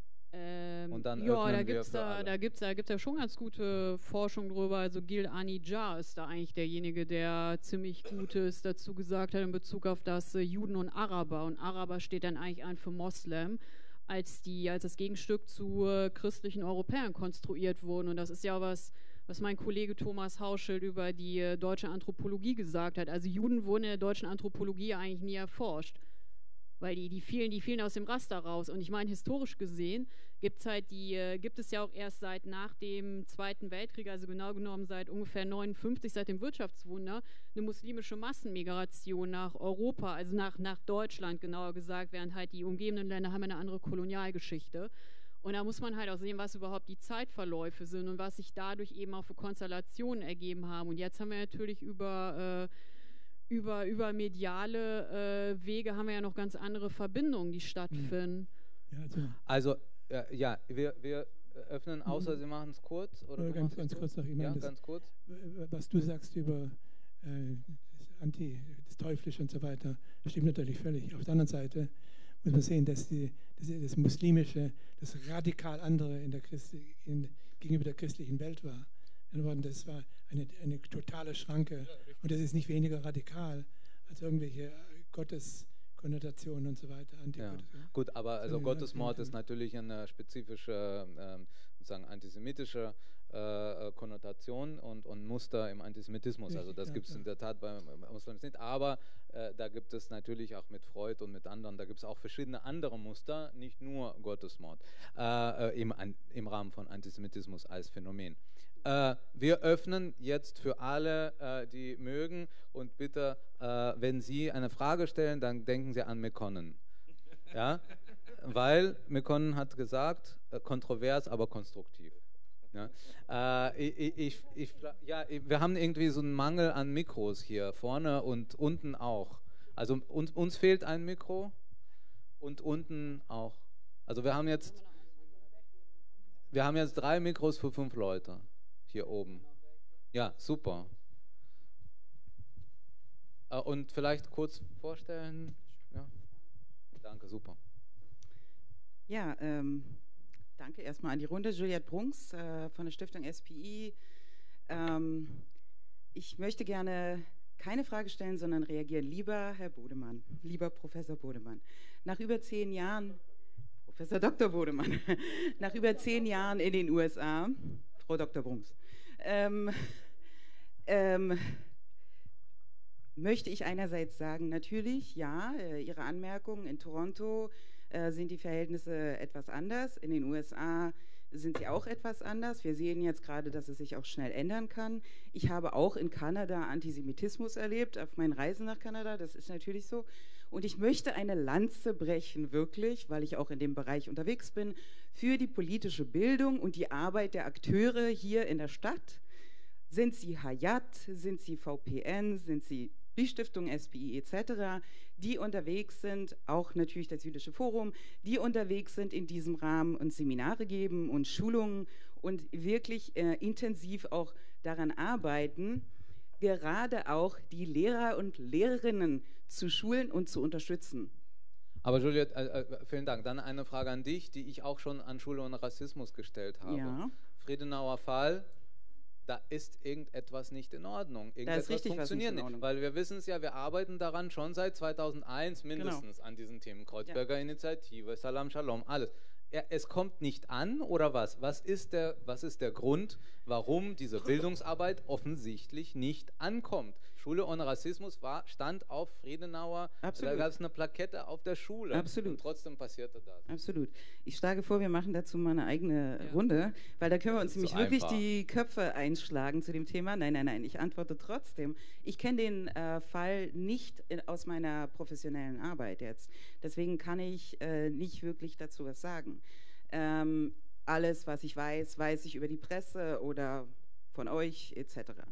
Ähm, es gibt immer wieder solche Fälle und es gibt immer wieder äh, Hilflosigkeit, äh, Unsicherheit, Unwissen, äh, da heraus auch, ähm, ich würde jetzt fast sagen, idiotische Ablehnung, aber wirklich auch Ablehnungen, die unbegründet sind und Vorbehalte und Vorurteile etc. Und äh, die gibt es nicht nur in Friedenau. Und die, also es ist egal, wo wir in der Stadt unterwegs sind, wir begegnen dem ständig. Und ähm, wenn ich nichts weiß, also wenn ich in der Bildung äh, zugange bin, ich bin Lehrer, ich bin Lehrerin und äh, habe diesen vollen Stundenplan, muss mich um alles Mögliche kümmern, habe Fortbildung ohne Ende, bin wirklich auch eingespannt und soll dann noch da über Wasser, die, die die Diskurse tatsächlich beobachten können. Und deswegen gibt es uns, wir gehen dann rein, wir informieren, wir bilden aus, wir bilden weiter. Und deswegen ist es auch wichtig, dass die Akteure, die in der Stadt unterwegs sind, seien sie vom Land bezahlt, seien sie vom Bund bezahlt, tatsächlich auch weiterfinanziert ja. werden. Aber das ist nochmal ein ganz anderes Thema. Ja, aber das ist doch das Hauptproblem, was du ansprichst. Wir sind total unterfinanziert in dem Bereich. Das ist halt, und diese multikulturelle Gesellschaft, die wird, ja, die wird auch nur funktionieren, wenn man da endlich mal von Staatsseite wirklich rein investiert. Weil ansonsten ist es also, ich denke mal, das kann man hier in dem Publikum auch wieder sehen. Wir predigen dann im Grunde zu denen, die eh schon konvertiert sind. Und so ist es ja bei jeder Abendveranstaltung, wo ich sitze. Und wenn ich jetzt natürlich in eine Schule gehe oder so, da habe ich ein anderes Publikum. Aber die Lehrer-Bildungsveranstaltung, wo ich war, teilweise mit Micha Brumlik zusammen, die Lehrer haben uns immer wieder gesagt, wir sind total überlastet, wir haben viel zu wenig Zeit dazu, wir wissen überhaupt nicht mehr, wo wir nachkommen sollen. Und das ist ein Riesenproblem. Äh, nicht nur das, äh, nicht nur das. Wenn ich darf es auch etwas anmerken. Das gibt es die, die zwei Sachen. Was hat Julia schon das gesagt? Äh, die erste, ja, äh, also erste Probleme, was wir haben. Wir haben das engagierte Initiativen, die Initiativen, das es machen, das ist wie Stiftung SP, vielleicht für jüdische Forum. Wir machen das ist pädagogisch-didaktisches Material entwickeln. Wir haben das wissenschaftliche Beirat. Wir versuchen nach jedem Besuch in die Schule reflektieren, weiterentwickeln äh, und, und so weiter und so fort nach besten pädagogischen Kriterien, die Besseres geben von uns. Aber das, die Probleme ist es eins. Wie viel gibt es von uns? Ich kann das sagen, dass das jüdische Forum relativ aktiv. Und wir als Aktive, wir haben das zwei Bundesprogramme, das welche unterstützt. Und im Rahmen einer Bundesprogramme, das wir besuchen ungefähr zehn Schulen. Wie viele Schulen gibt es in Berlin? Tausend. Wir haben das zehn besucht und wir haben wirklich viel gemacht und viel getan. Das ist die eine Problem. Zweite Problem, ich besuche öfter mal, das ist die Tagungen, fast öfter mal unterwegs bei Tagungen. Und was habe ich, das ist jetzt, das ist die letzten Zeiten, hat mir besonders plausibel und besonders nahe gekommen. Und ich habe das, kann auch sagen, das verstanden, dass die Problem, was liegt, das ist in Praxis und Wissenschaft, bei Pädagogen und so weiter und so fort. Die Zeit ist es viel zu fortschritten, das ist gegangen. Und die viele Pädagogen und viele Fachkräfte, sogar Wissenschaftler, kommen nicht hinterher. Wenn wir schauen an, wenn wir sprechen über Rechtsradikalismus, wenn wir äh, sprechen über Islamismus, wenn wir sprechen über Ismenformen und so weiter und so fort. Wir sind ständig innerhalb des einen Monats, Tabea, mein Kollege hier, kann das Ihnen auch erzählen, ausführlich. Wir waren fast in ungefähr zehn ähm, Kundgebungen, Demonstrationen etc. etc. Das ist die letzte, was wir haben, das besucht, das, was wir haben, das beobachtet, identitäre Bewegung.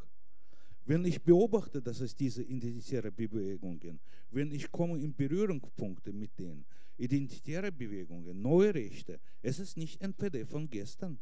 Es ist ganz, ganz anderes. Die anderes romantikullieren, die einsetzen, das ist die anderen Instrumente. Und wenn ich gehe in die Schulen und zeige Filmen, das ist von Kundgebungen, was war das ist gestern oder äh, okay. eine Woche oder zwei Wochen, mhm. vor zwei Wochen, sie haben das ist die viele okay. Pädagogen wenig Bescheid davon. Okay. Richtig, richtig. Auch folgendes, ich meine, deine Arbeit und äh, was Sie gesagt haben, ist völlig, völlig stimmig, äh, auf jeden Fall. Aber das Problem ist, es wird von außen eingewirkt. Und wenn wir wieder zurückgehen nach USA oder Kanada in verschiedenen Fällen, kommt es von unten her, von der Basis her. Zum Beispiel, was ich sehe in, in Toronto und andernorts, ist, dass äh, die jüdischen Gemeinden, die Synagogen, ist, Muslime einladen. Im Grunde, das kommt, das kommt von daher, von der Basis her, nicht, dass es von oben eingewirkt wird. Mit anderen Worten, äh, die Arbeit, die Armin macht, ist in Nordamerika selbstverständlich. Es kommt von den religiösen Gemeinschaften her, dass man diese, diese, diese Partnerschaften, muslimisch-jüdischen Partnerschaften entwickelt.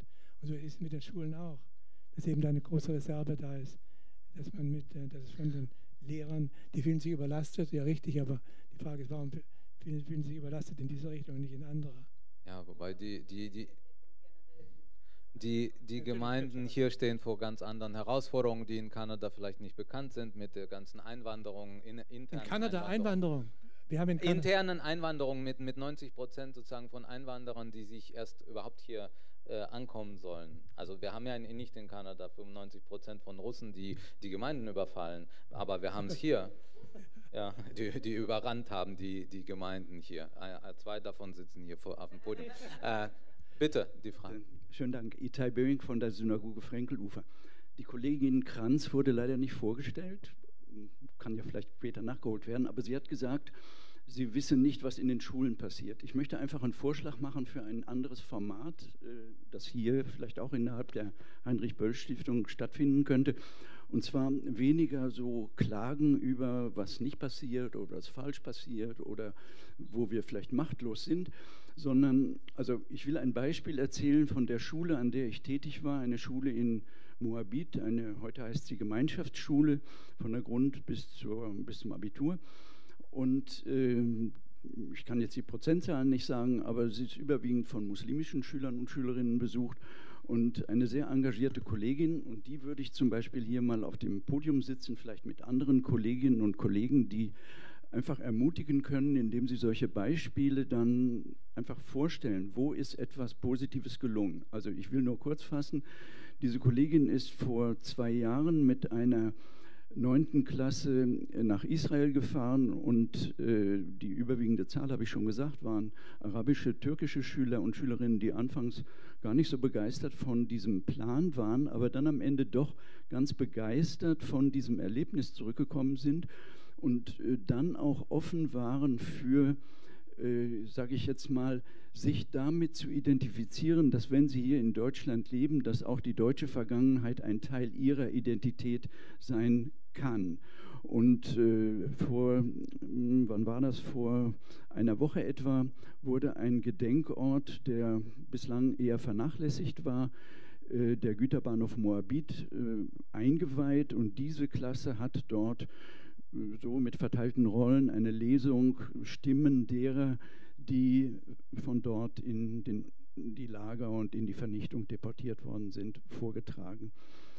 Ähm, und am folgenden Tag sind sie nach Polen gefahren, um Gedenkstätten Majdanek, Treblinka, Lublin und äh, Warschau zu besuchen. Und ich denke, äh, die, das sind immer nur kleine Tropfen da, wo etwas passiert. Aber vielleicht sind das dann, und dieselbe Kollegin sage ich nochmal, die vor Jahren, als ich noch an dieser Schule war, am 9. November als Klassenlehrerin einer Klasse dieses Thema, also jetzt nicht 89, sondern 38, nicht zum Thema machen konnte, weil die Mehrheit der Schüler sagte, von diesem Thema wollen wir nichts wissen.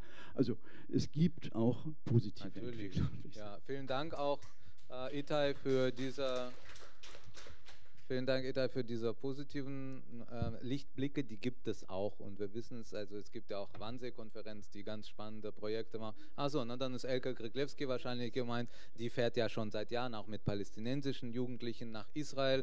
Ähm, äh, ja, die Frage ist sozusagen, reicht es aus, um äh, alle Unebenheiten auszugleichen, die wir haben in unserer Schullandschaft? Ich würde vorschlagen, dass wir jetzt äh, Sigi, äh, Sieg, Siegmund offiziell, Siegmund Königsberg von der jüdischen Gemeinde ähm, äh, bitten, äh, eine Frage zu stellen oder einen Kommentar.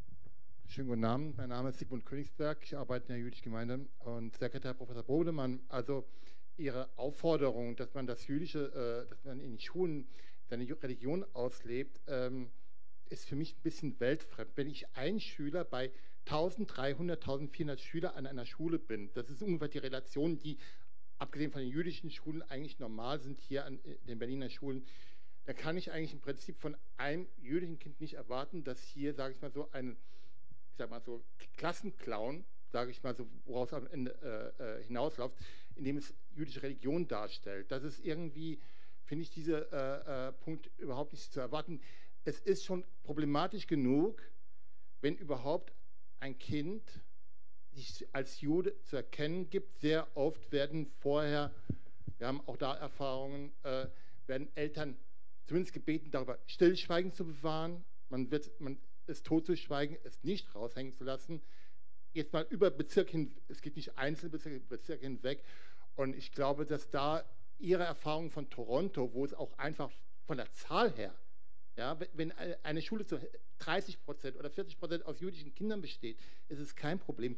Wenn es eine, in der Regel, ja, bis auf die jüdischen Schulen eben äh, mm, anders ist, mm. sehe ich das schon, ist das einfach nicht machbar. Ihre Forderung ist da also einfach mm, nicht realistisch. Nee, nee, ja, darauf reagiert Professor Bodemann und Deine Kranz und danach gehen wir ja. zu den anderen. Ich sehe zwei, drei, drei Fragen noch. Es stimmt natürlich völlig, äh, was Sie sagen. Lauter bitte. Es stimmt natürlich völlig, was Sie sagen.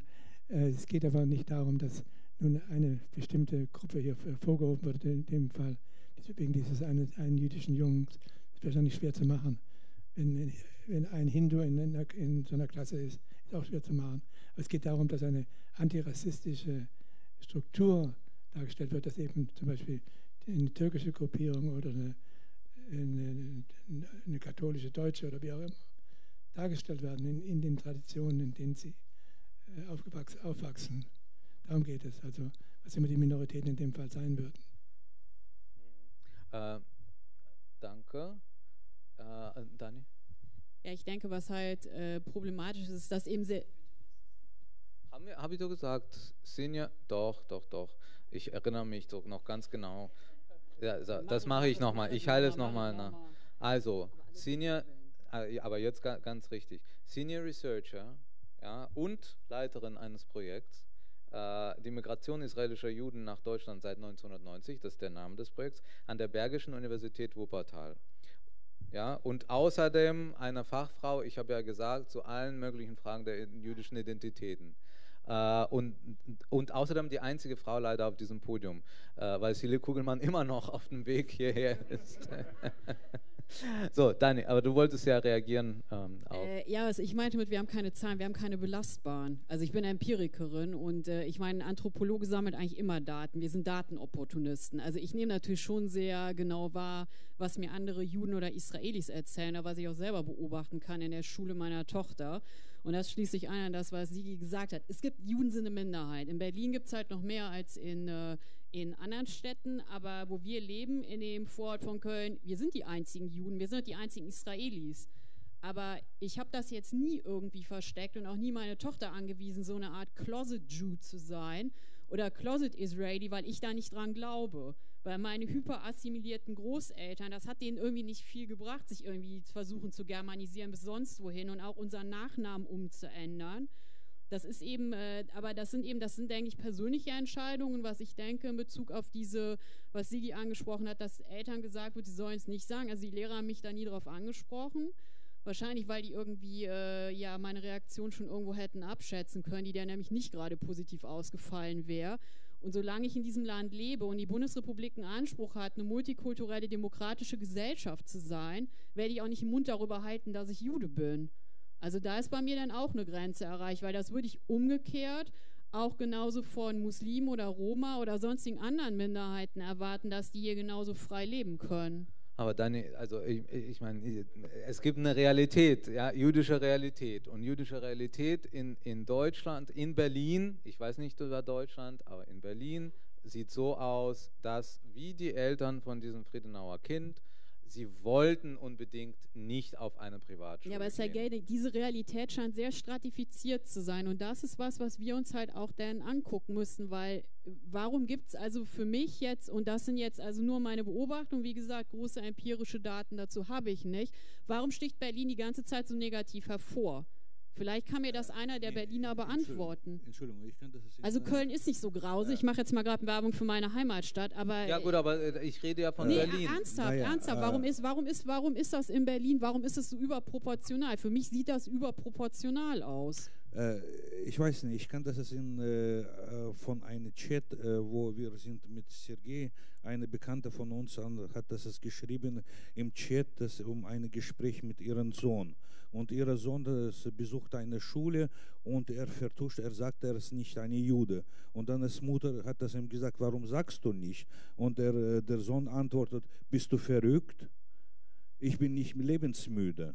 Äh, das ist das Eins. Das ist die, so sieht, das ist die Realität. Ein Junge sagt, ich bin nicht lebensmüde, ich bin nicht verrückt, sagen das, ich bin ein Jude in einer Schule, wo sehr viele, auch unter anderem muslimische Jugendliche, wo sie viele, das, die Palästinenser und Libanesen äh, und etc. etc.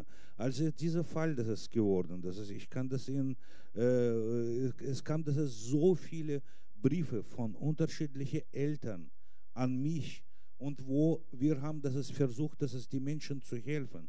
Die überwiegende Zahl, dass es diese, diese Vorfälle, wir haben das ist nicht mal geringste Bekanntes gegeben, weil wir müssen, das ist in erster Reihe, das sehen, Wohlhaben, dass die betroffene Person, nicht an anderen. Das, das Wohlhaben dieser Menschen, das ist für uns das ganz Wichtige. Und deswegen, wir haben das mit denen auseinandergesetzt und es war nicht ein Fall, nicht, ein, nicht zwei Fall, nicht zwei Fälle. Und es waren, das ist Fehler auch, dass es in äh, sogar in Privatschulen, das heißt die teuren Privatschulen kamen auch zu, zu, zu ja, antisemitischen Das ist ja nicht das Einzige, ich, meine, ich muss ja sagen. Ja. Sind nämlich zum Beispiel ein, ein Vorfall, als sieben Mädchen mit meiner Tochter Nuri zusammen ins Haus einbrachen. So nachts um Gott weiß welche Zeit. Jedenfalls, sie kamen rein und es war Weihnachten. Und die, kind, die Mädchen sagten, ja, wo ist denn euer Weihnachtsbaum? Und Nuri sagte, wir sind Juden. Das ist cool. Mit das ist ja die andere Reaktion auch, dass etwas Positives gesehen wird. Und okay. das war dann eine ganz die, die, Gut, die also so, so, einen Fall habe ich in Berlin jetzt nicht vorgetragen bekommen. Aber, aber ich muss sagen, äh, hier in diesem Fall vielleicht als, aus meiner Moderatorenrolle heraustreten, äh, ich habe eine Runde für betroffene Eltern äh, äh gemacht anlässlich der Friedenauer Schule. Es waren 30, 35 Leute da und alle haben erzählt. Ja, du warst dabei. Ja, und, und, und gab es da, es gab eine Person, die, die, die, der, der Vater, der gesagt hat, okay, ist bei uns nicht der Fall. Ja, Alina, Alle anderen? Ja, Alina und ich haben das gesagt, weil ich ja auch gesagt habe, ich habe diese, des, deswegen ist ja auch meine Frage wirklich nach den Daten, wo kommen diese Vorfälle gehäuft vor? Mhm. Weil das ist halt, weil sowohl Alina, die in Kreuzberg lebt, als auch ich, wir, wir haben diese Vorfälle bei unseren Kindern nicht. Was macht diese Schulen so besonders? Warum kommt das wo vor? Das ist also was, was mich dann wirklich rumtreibt, das auch zu verstehen. Weil wenn wir nicht, wenn wir Rahmenbedingungen nicht verstehen, wir verstehen nicht, was für Menschen das sind, wer zu Tätern wird, äh, mhm. dann können wir da noch lange drüber reden und reden im Grunde in leeren Raum. Gut, wir gehen wieder zurück äh, in das Publikum. Ähm, bitte Ihre Frage und stellen ja, Sie sich vielleicht äh, vor kurz. Genau, Dr. Andreas Gutjahr. Ich bin Jude hier in Deutschland geboren und aufgewachsen aus einer Generation 1960 und ich forsche an kollektivem Trauma und ich habe viele Hypothesen zu dem, wo Sie Fragen haben. Ein bisschen schade, dass ich keine Gelegenheit hatte, oder vielleicht gibt es ja mal äh, welche, die wir schaffen können, um da einen kleineren Kreis drüber zu sprechen. Ähm, worauf ich das auf, die Aufmerksamkeit lenken möchte, ist auf Angst. Wir sprechen den ganzen Abend das Wort nicht aus, worum es eigentlich geht. Es geht um Angst, Ausgrenzung, Angst vor Gewalt. Ähm, und es geht auch um eine Fähigkeit, die wir hier in Deutschland, glaube ich, verloren haben, ähm, nämlich erstmal Angst zu benennen, ähm, weil wir immer noch in dem Trauma leben vom Holocaust und vom Zweiten Weltkrieg. Und diese, dieses Trauma, das nehme ich wahr wie eine Glocke über uns allen. Und das erklärt zum Stück auch die ähm, Schwierigkeit zuzuhören, und die Häufigkeit von dem Phänomen reflexhaft äh, wegzuschauen oder nicht hinschauen zu können oder sehr eingeschränkt nur gucken und zuhören zu können.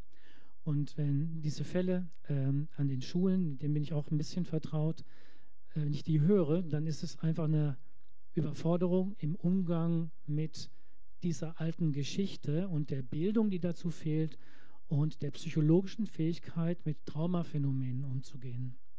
Und wenn wir anfangen zu berücksichtigen, dass es Generationen gibt, die betroffen sind ähm, und die epigenetisch diese Reflexe weitergegeben haben an die jüngere Generation, dann sind wir und vielleicht ihr und vielleicht du ähm, diejenigen, die da einen frischen Wind reinbringen können. Und ich sehe auch das Drama, dass wir die Forschungsgelder nicht haben und die Gelder, die notwendig wären, um Bildung und Fähigkeit im Umgang mit Trauma aufzubauen. Und die Flüchtlinge äh, konfrontieren uns damit. Mhm. Ja? ja.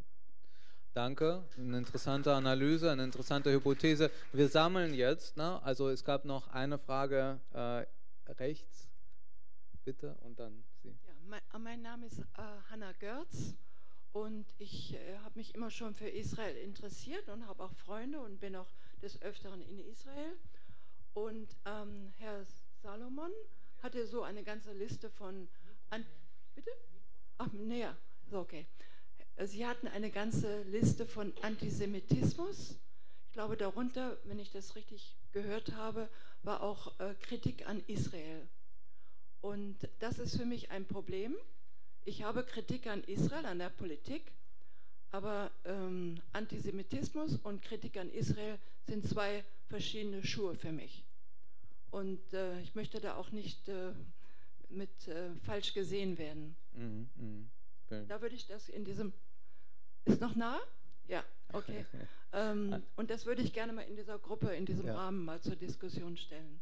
Danke, eine wichtige Frage, die übrigens wahrscheinlich heute jetzt gleich auf ARD auch diskutiert wird. Heute ist bei Maischberger eine Diskussion zu diesem, äh, dieser Dokumentation, die jetzt gezeigt wird und dann ausdiskutiert wird. Äh, aber wir gehen erstmal sozusagen zum letzten oder zu den. Sie haben zwei Fragen? Sie hatten auch eine Frage, oder?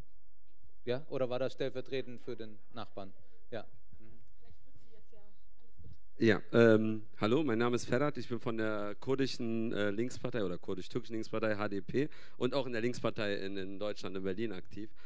Ähm, ich bin selber, also beziehungsweise meine Eltern sind alevitischer Abstammung aus Mittelanatolien, meine Lebenspartnerin ist jüdischer Abstammung aus Berlin und sie hatte vor kurzem Geburtstag äh, und meine zukünftige Schwiegermutter äh, hat immer so einen Davidstern und kommt damit auch nach Neukölln. Und ich dachte mir im ersten Moment, als ich im Laden war, ich kaufe ihr zum Geburtstag einen Davidstern. Dann habe ich kurz nachgedacht und dachte mir, okay, sie fährt U-Bahn, da kann was passieren. Was mache ich da? Dann habe ich es nicht gekauft. Und das zeigt mir eigentlich, das ist vielleicht auch jetzt eine äh, Quervorlage äh, für Sie, aber das zeigt mir so ein bisschen, dass, dass das schon sehr tief verankert ist als jemand, der, der in Neukölln aufgewachsen ist, dass da was passieren kann. Ähm, und ich glaube, dass das wirklich die Arbeit von Armin Lange hilft, dass das langfristig auch äh, nachlässt. Also wir müssen wirklich an die Schulen gehen. Wir müssen an den Schulen mit den Jugendlichen arbeiten, weil ich glaube, ich arbeite sehr stark äh, zum Thema äh, türkischen Nationalismus bei den hier geborenen und aufgewachsenen äh, Türkinnen. Und das ist ein, kein, kein Nationalismus, der irgendeiner Ideologie äh, untermauert ist, sondern das ist ein Nationalismus, der einfach kommt. Der kommt von den Eltern, das haben sie die ganze Zeit gehört. Deshalb sind Kurden so und so, Aleviten sind so und so. Und genauso, glaube ich, ist das auch mit vielen arabischen Jugendlichen, die hier aufgewachsen sind, die einfach das nachplappern, was sie zu Hause hören. Mhm. Und daran müssen wir arbeiten. Das ja. ist bestimmt nicht bei allen so, aber bei vielen. Aber ich hab, wir beide haben ein ganz anderes Problem äh, worüber wir eigentlich tagtäglich diskutieren. Wir haben bald die Bundestagswahlen und die AfD wird in den Bundestag einziehen. Und da sind Rassisten, da steht jüdische Realität, da steht multikulturelle Gesellschaft. Die AfD akzeptiert weder die jüdische Realität äh, noch den Holocaust. Also die, die, der, der also, Flügel von äh, Björn Höcke, wenn wir, wenn wir genau sein wollen, aber äh, Multikulti, äh, Multikulti ist für sie auch gescheitert. Und ich habe eher Angst vor dieser Gruppe, wenn die an die Macht kommen, was dann mit Muslimen und mit Juden passiert. Wir sollten hier okay, der Nahostkonflikt ist wichtig, wir sollten das aber primär nicht hier austragen, sondern versuchen an den Menschen zu arbeiten, die hier sind, die, vor allem die, äh, die Generationen, die jetzt aufwachsen. Und wir sollten uns auch darauf konzentrieren, dass der, äh, der Rassismus und der Antisemitismus hier in Deutschland von Deutschen äh, auch wirklich zurückgedrängt werden und daran arbeiten. Danke sehr. Wollten Sie jetzt was sagen? Sind Sie diejenigen, die keinen Davidstern äh, bekommen hat? Also, ja. ja. das bin ich. Äh, Sarah Ebensberger, mein Name, genau. Also was so äh, in dem Forum, also hier auf dem äh, Podium ähm, so rauskam, ist, was, was ist schlimmer, ne? Antisemitismus und äh, ähm, muslimischer Rassismus und ich finde, das dürfte gar nicht zur Frage stehen. Also wir müssten zusammenhalten, eben gerade was die Bundestagswahlen angeht und zusammen für, gegen die AfD und gegen diesen ganzen Rassismus, der herrscht, mhm. egal gegen welche Minderheit der ist, anstehen und uns gar nicht mit so einer für mich, wahrscheinlich greife ich damit jetzt gleich jemanden an, aber ähm, mit so einer Kleinigkeit auseinandersetzen und das zu differenzieren, sondern gemeinsam eben gegen viele mhm. Minderheiten gemeinsam gegen zum Beispiel die AfD vorgehen. Ja. Das ist das Wichtige, finde ich. Danke, auch eine Stimme aus der jüdischen Realität ja. von heute. Vielen Dank. Es gibt hier noch eine Stimme, die unentschlossen ist. Möchten Sie jetzt? Unfit. Ich hoffe, ich kriege die Worte zusammen. Machen Sie es, versuchen Sie es. Mal. Ja, danke. Also vorhin wurde die Kreuzberger Initiative ja schon mal erwähnt. Ich dachte, ich muss mich jetzt outen. Also ich bin seit ähm, 2016 in einem Projekt, das für Geflüchtete konzipiert ist, tätig und ähm, ich wollte irgendwie da anknüpfen, anknüpfen an den ähm, Kollegen da hinten und, und dahinter, wo ähm, das Thema Flucht ähm, angesprochen wurde, äh, Trauma, Entschuldigung, ähm, angesprochen wurde. Und ähm, nochmal eine Frage, die ich hier an Sie hatte, woran kann man die Frage des Erfolges messen? Ähm, gerade auch bei Bildungsprogrammen, also in meinem Projekt war das schon sehr eingeschränkt. Das, was wir haben, wir haben sehr viele Chancen, aber wir haben auch sehr eingeschränkte Rahmen, wie viele Gruppen wir erreichen und Fast ist man in dem Moment dankbar, wenn man weniger Gruppen hat, weil man dann viel besser vorbereiten und nachbereiten kann. Und wir müssen uns ja dann, also in dem Rahmen, in dem man eben ähm, diesen Freiraum hat. Und ähm, ich wollte noch mal so das Thema ähm, Trauma, dass wir jetzt so zweiseitig irgendwie betrachten müssen. Also wir haben jetzt auch die Gruppe der jungen Menschen, die jetzt kommen und älteren ähm, wo auch Verlust eine sehr starke Rolle spielt, Verlust von Heimat, aber das betrifft wahrscheinlich auch ähm, ähm, im Kontext, so israelisch-palästinensischen Kontext, ist das auch wieder ein Thema, Identität und auch Verlust ja. von Heimat. Also wie kann man, wenn man über Antisemitismus auch diskutiert, ähm, auch diese Anerkennung von Trauer und Verlust ja. und Geschichtsverarbeitung irgendwie mit berücksichtigen, damit überhaupt so ein offener, also ein offener, der Prozess stattfinden ja. kann, weil von heute auf morgen lassen sich eben diese Probleme nicht beheben.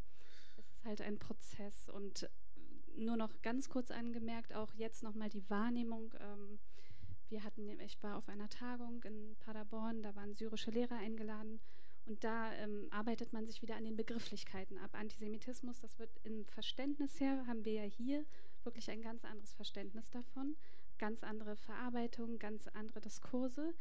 Und ähm, da ist so ein starkes Bedürfnis auch, selbst in, unter diesen Begriff mit einbezogen zu werden, weil man auch hier natürlich diese Erfahrungen von Ausgrenzung erlebt, Rassismus erlebt und dass man da auch nicht so eine spezifische Tätergruppe irgendwie oder potenzielle Tätergruppe hat, die selber eben sich nicht als judenfeindlich begreift und sich immer in der Rechtfertigung sieht, irgendwie, nein, wir haben nichts gegen Juden, es ist aber eine andere politische Erfahrung, die da eine Rolle spielt und Freund-Feind-Denken, die damit reinkommen. Und deswegen finde ich diese, das, was vorhin gesagt wurde, Antisemitismus gibt es ja nicht ohne, ähm, also gibt es nicht ohne Juden das, und also nicht das, was Sie vorhin referiert haben. Gibt es auch ohne Juden, Gibt es ohne Juden? Genau. genau, Entschuldigung.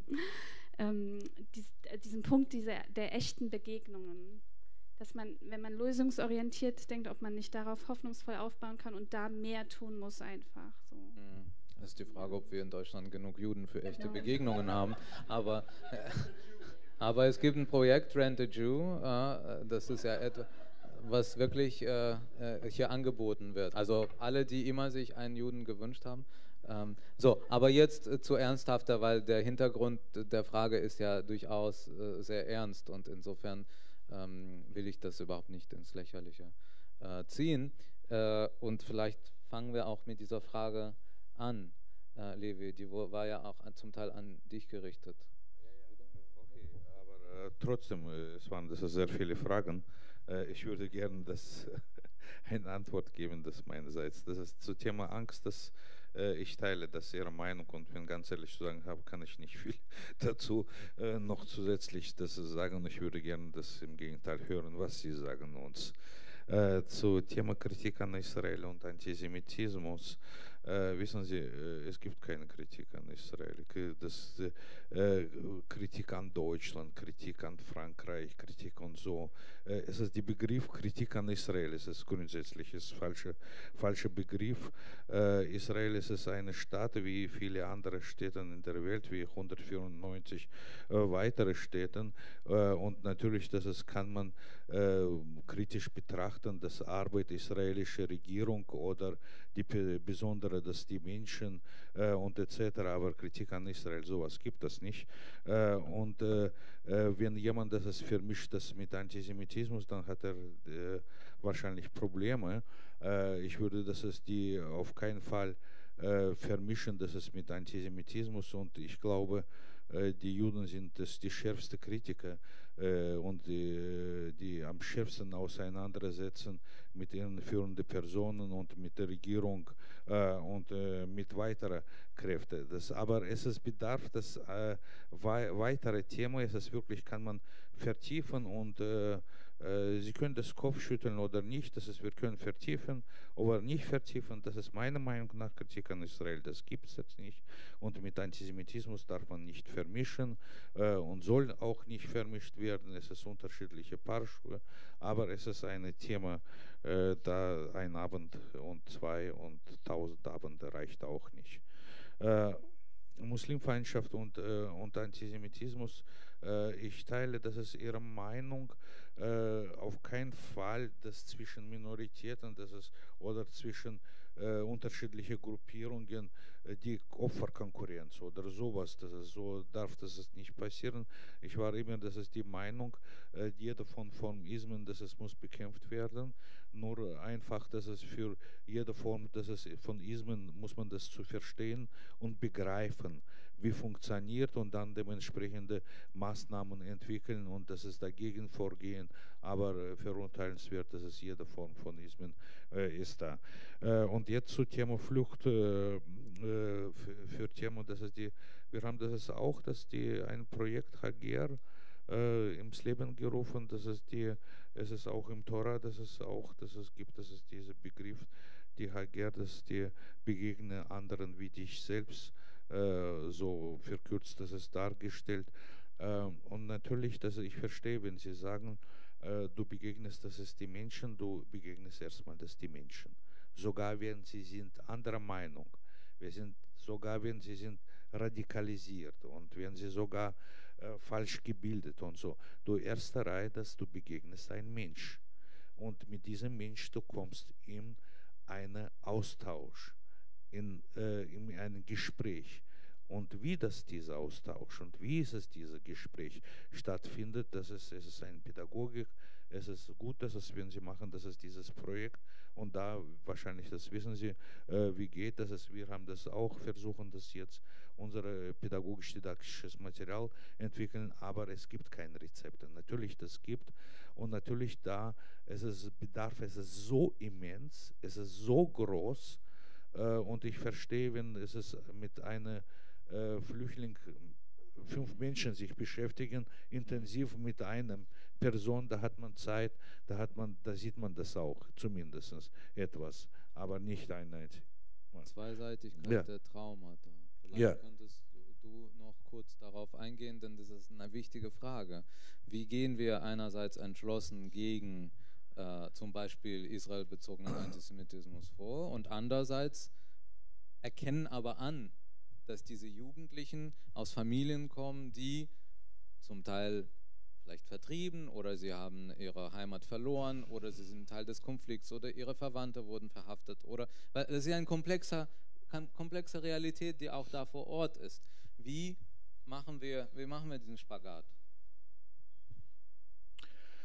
Ah, es, ist, es ist wirklich eine ganz, ganz schwierige Frage und ich würde mir nicht zumuten, also kurze Antwort geben auf diese Frage, weil es, ich sehe, dass es gesamte Komplexität das ist diese Frage. Und Komplexität ist es äh, zum Beispiel, eine von schlimmsten Kundgebungen, Demonstrationen, was habe ich das ist in meinem Leben gesehen, das war 2014, wo äh, am Potsdamer Platz die viele palästinensische Frauen haben das eine Kundgebung organisiert, wo auf dem Boden lagen geköpften Puppen, von Puppen, das ist die Köpfe, das wurden das durchgetrennt und das wurden das mit dem Blut verschmiert und dann äh, die, eine Demonstration wurde, das ist mit den Kindern organisiert. Äh, da finde ich, dass es die äh, es ist Erziehung, zu, meiner Meinung nach ist es eine Erziehung zum Hass. Mhm. Äh, es heißt, dass es mit dem Traumata, mit dem Problem, was hat das eine Säugling, welche lag bei dieser Kundgebung, könnte man sehen, das ist ein Säugling, neben einem Säugling, das lag, das ist eine geköpfte Puppe mit geköpfte und Blut verschmiert. Was von Traumata hat das dieser Säugling erlebt? Dieser Säugling erlebt Traumata in dem Sinne, dass es seine Eltern von Geburt an ihm sowas tun an. Ein Kind uns muss man Besorgenheit, das, mhm. sozusagen das Liebe vermitteln, ja. äh, äh, Sicherheit vermitteln. Und die Konflikt, welche 4000, Jahr, 4000 Kilometer weit entfernt ist, ist 4000 Kilometer weit entfernt. Äh, die andere Sache, das ist, wir, natürlich, dass es, wir haben, dass es die Menschen, welche, äh, wir haben das hier zu tun, im größten Teil das mit den Menschen, dass welche Generationen hier schon in Deutschland entweder sozialisiert und aufgewachsen und etc.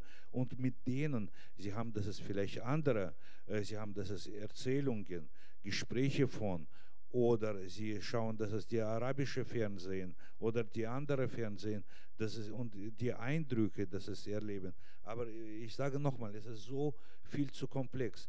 Wenn es ist, äh, im jüdischen Fall, das ist, wenn wir haben, das werden wir sprechen, das über Holocaust-Überlebende, dann ja da haben wir das ist die Traumata, Erlebnisse Menschen. Wenn die Menschen, das ist welche äh, wurden, das ist die Vertrieben 47 oder 48, dann ja, es ist, das ist die Vertriebene, es ist die Traumata, es ist da. Aus irgendwelchen Gründen, das ist die, auf welche Seite und warum wurden sie vertrieben, abgesehen davon, die sind, wurden vertrieben. Und das ist auch ein traumatisches Erlebnis. Und das ist die, äh, die es, ist, es ist unterschiedlich. Und da äh, das ist mir wirklich das schwer, eine richtige Antwort zu geben. Ist auch eine schwierige, komplexe Frage. Äh, Michael Bodemann, haben Sie für ein Schlusswort, ähm, sagen, was ist ja eine Schlussrunde hier, äh, haben wir zu viel über Antisemitismus gesprochen und äh, zu wenig über die multikulturelle Gesellschaft hier und die jüdischen Realitäten? Ist das sozusagen alles, was wir haben an jüdischen Realitäten hier? Ja, natürlich hat es sehr verengt, wurde die Diskussion sehr verengt wenn wir über multikulturelle Gesellschaft sprechen. Aber das ist noch ein weiteres Thema, das wir hier nicht wieder anfangen können. Ich meine, gerade die Situation, zum Beispiel die Rolle der Israelis in, in der Berliner im, Umfeld, da müssten wir noch viel mehr dazu sagen.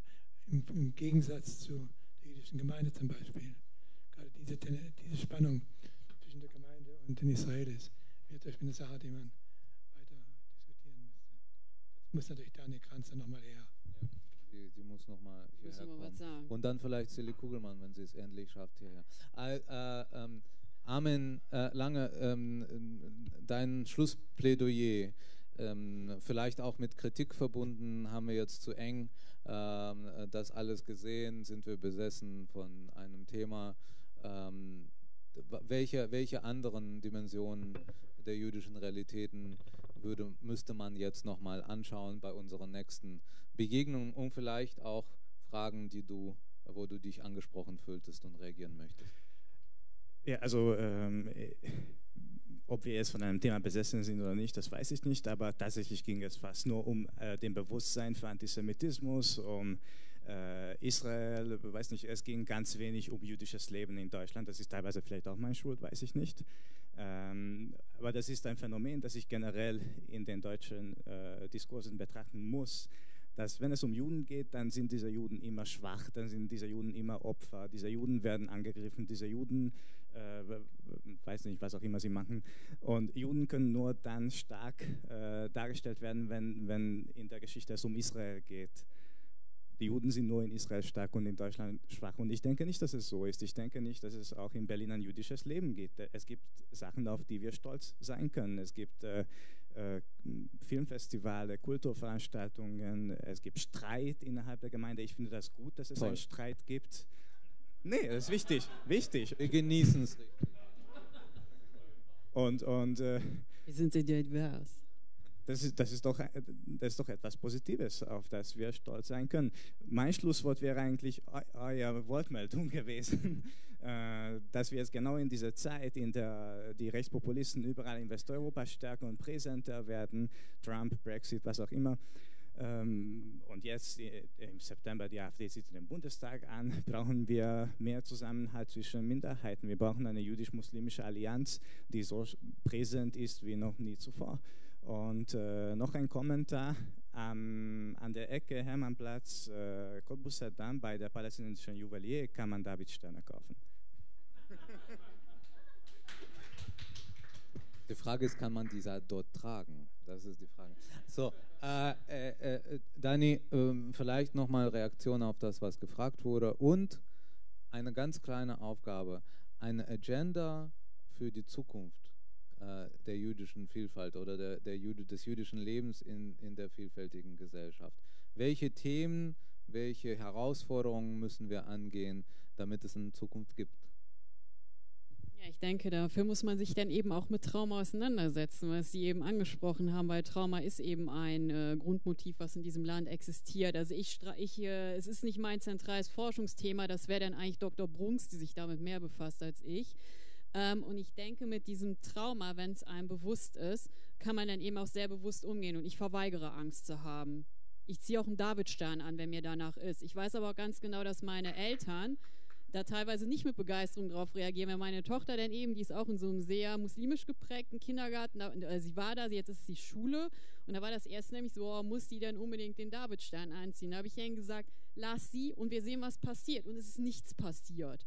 Und ich denke, man kann eben, man muss wir müssen offen damit umgehen, wir müssen mit Trauma umgehen, wir müssen mit Rassismus umgehen und wir müssen eben auch mit den verschiedenen Gruppenbeziehungen umgehen, damit es ein jüdisches Leben gibt.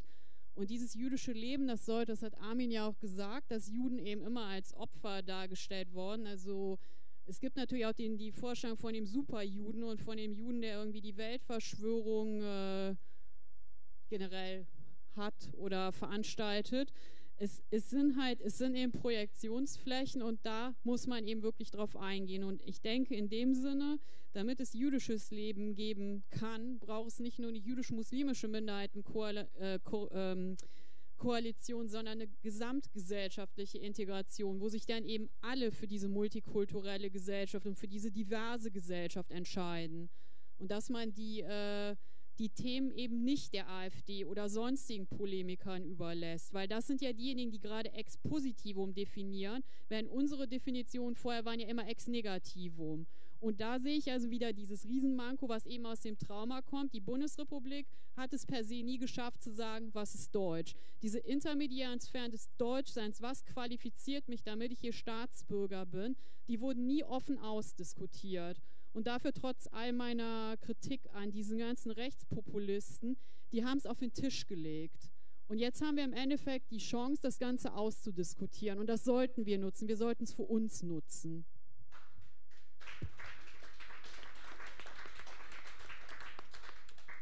Dem ist nichts mehr weiter hinzuzufügen. Ich wünsche Ihnen, äh, ich wünsche Ihnen einen schönen Abend. Wer noch nicht. Äh, Nee, Frau, Frau Kugelmann ist verlustig gegangen.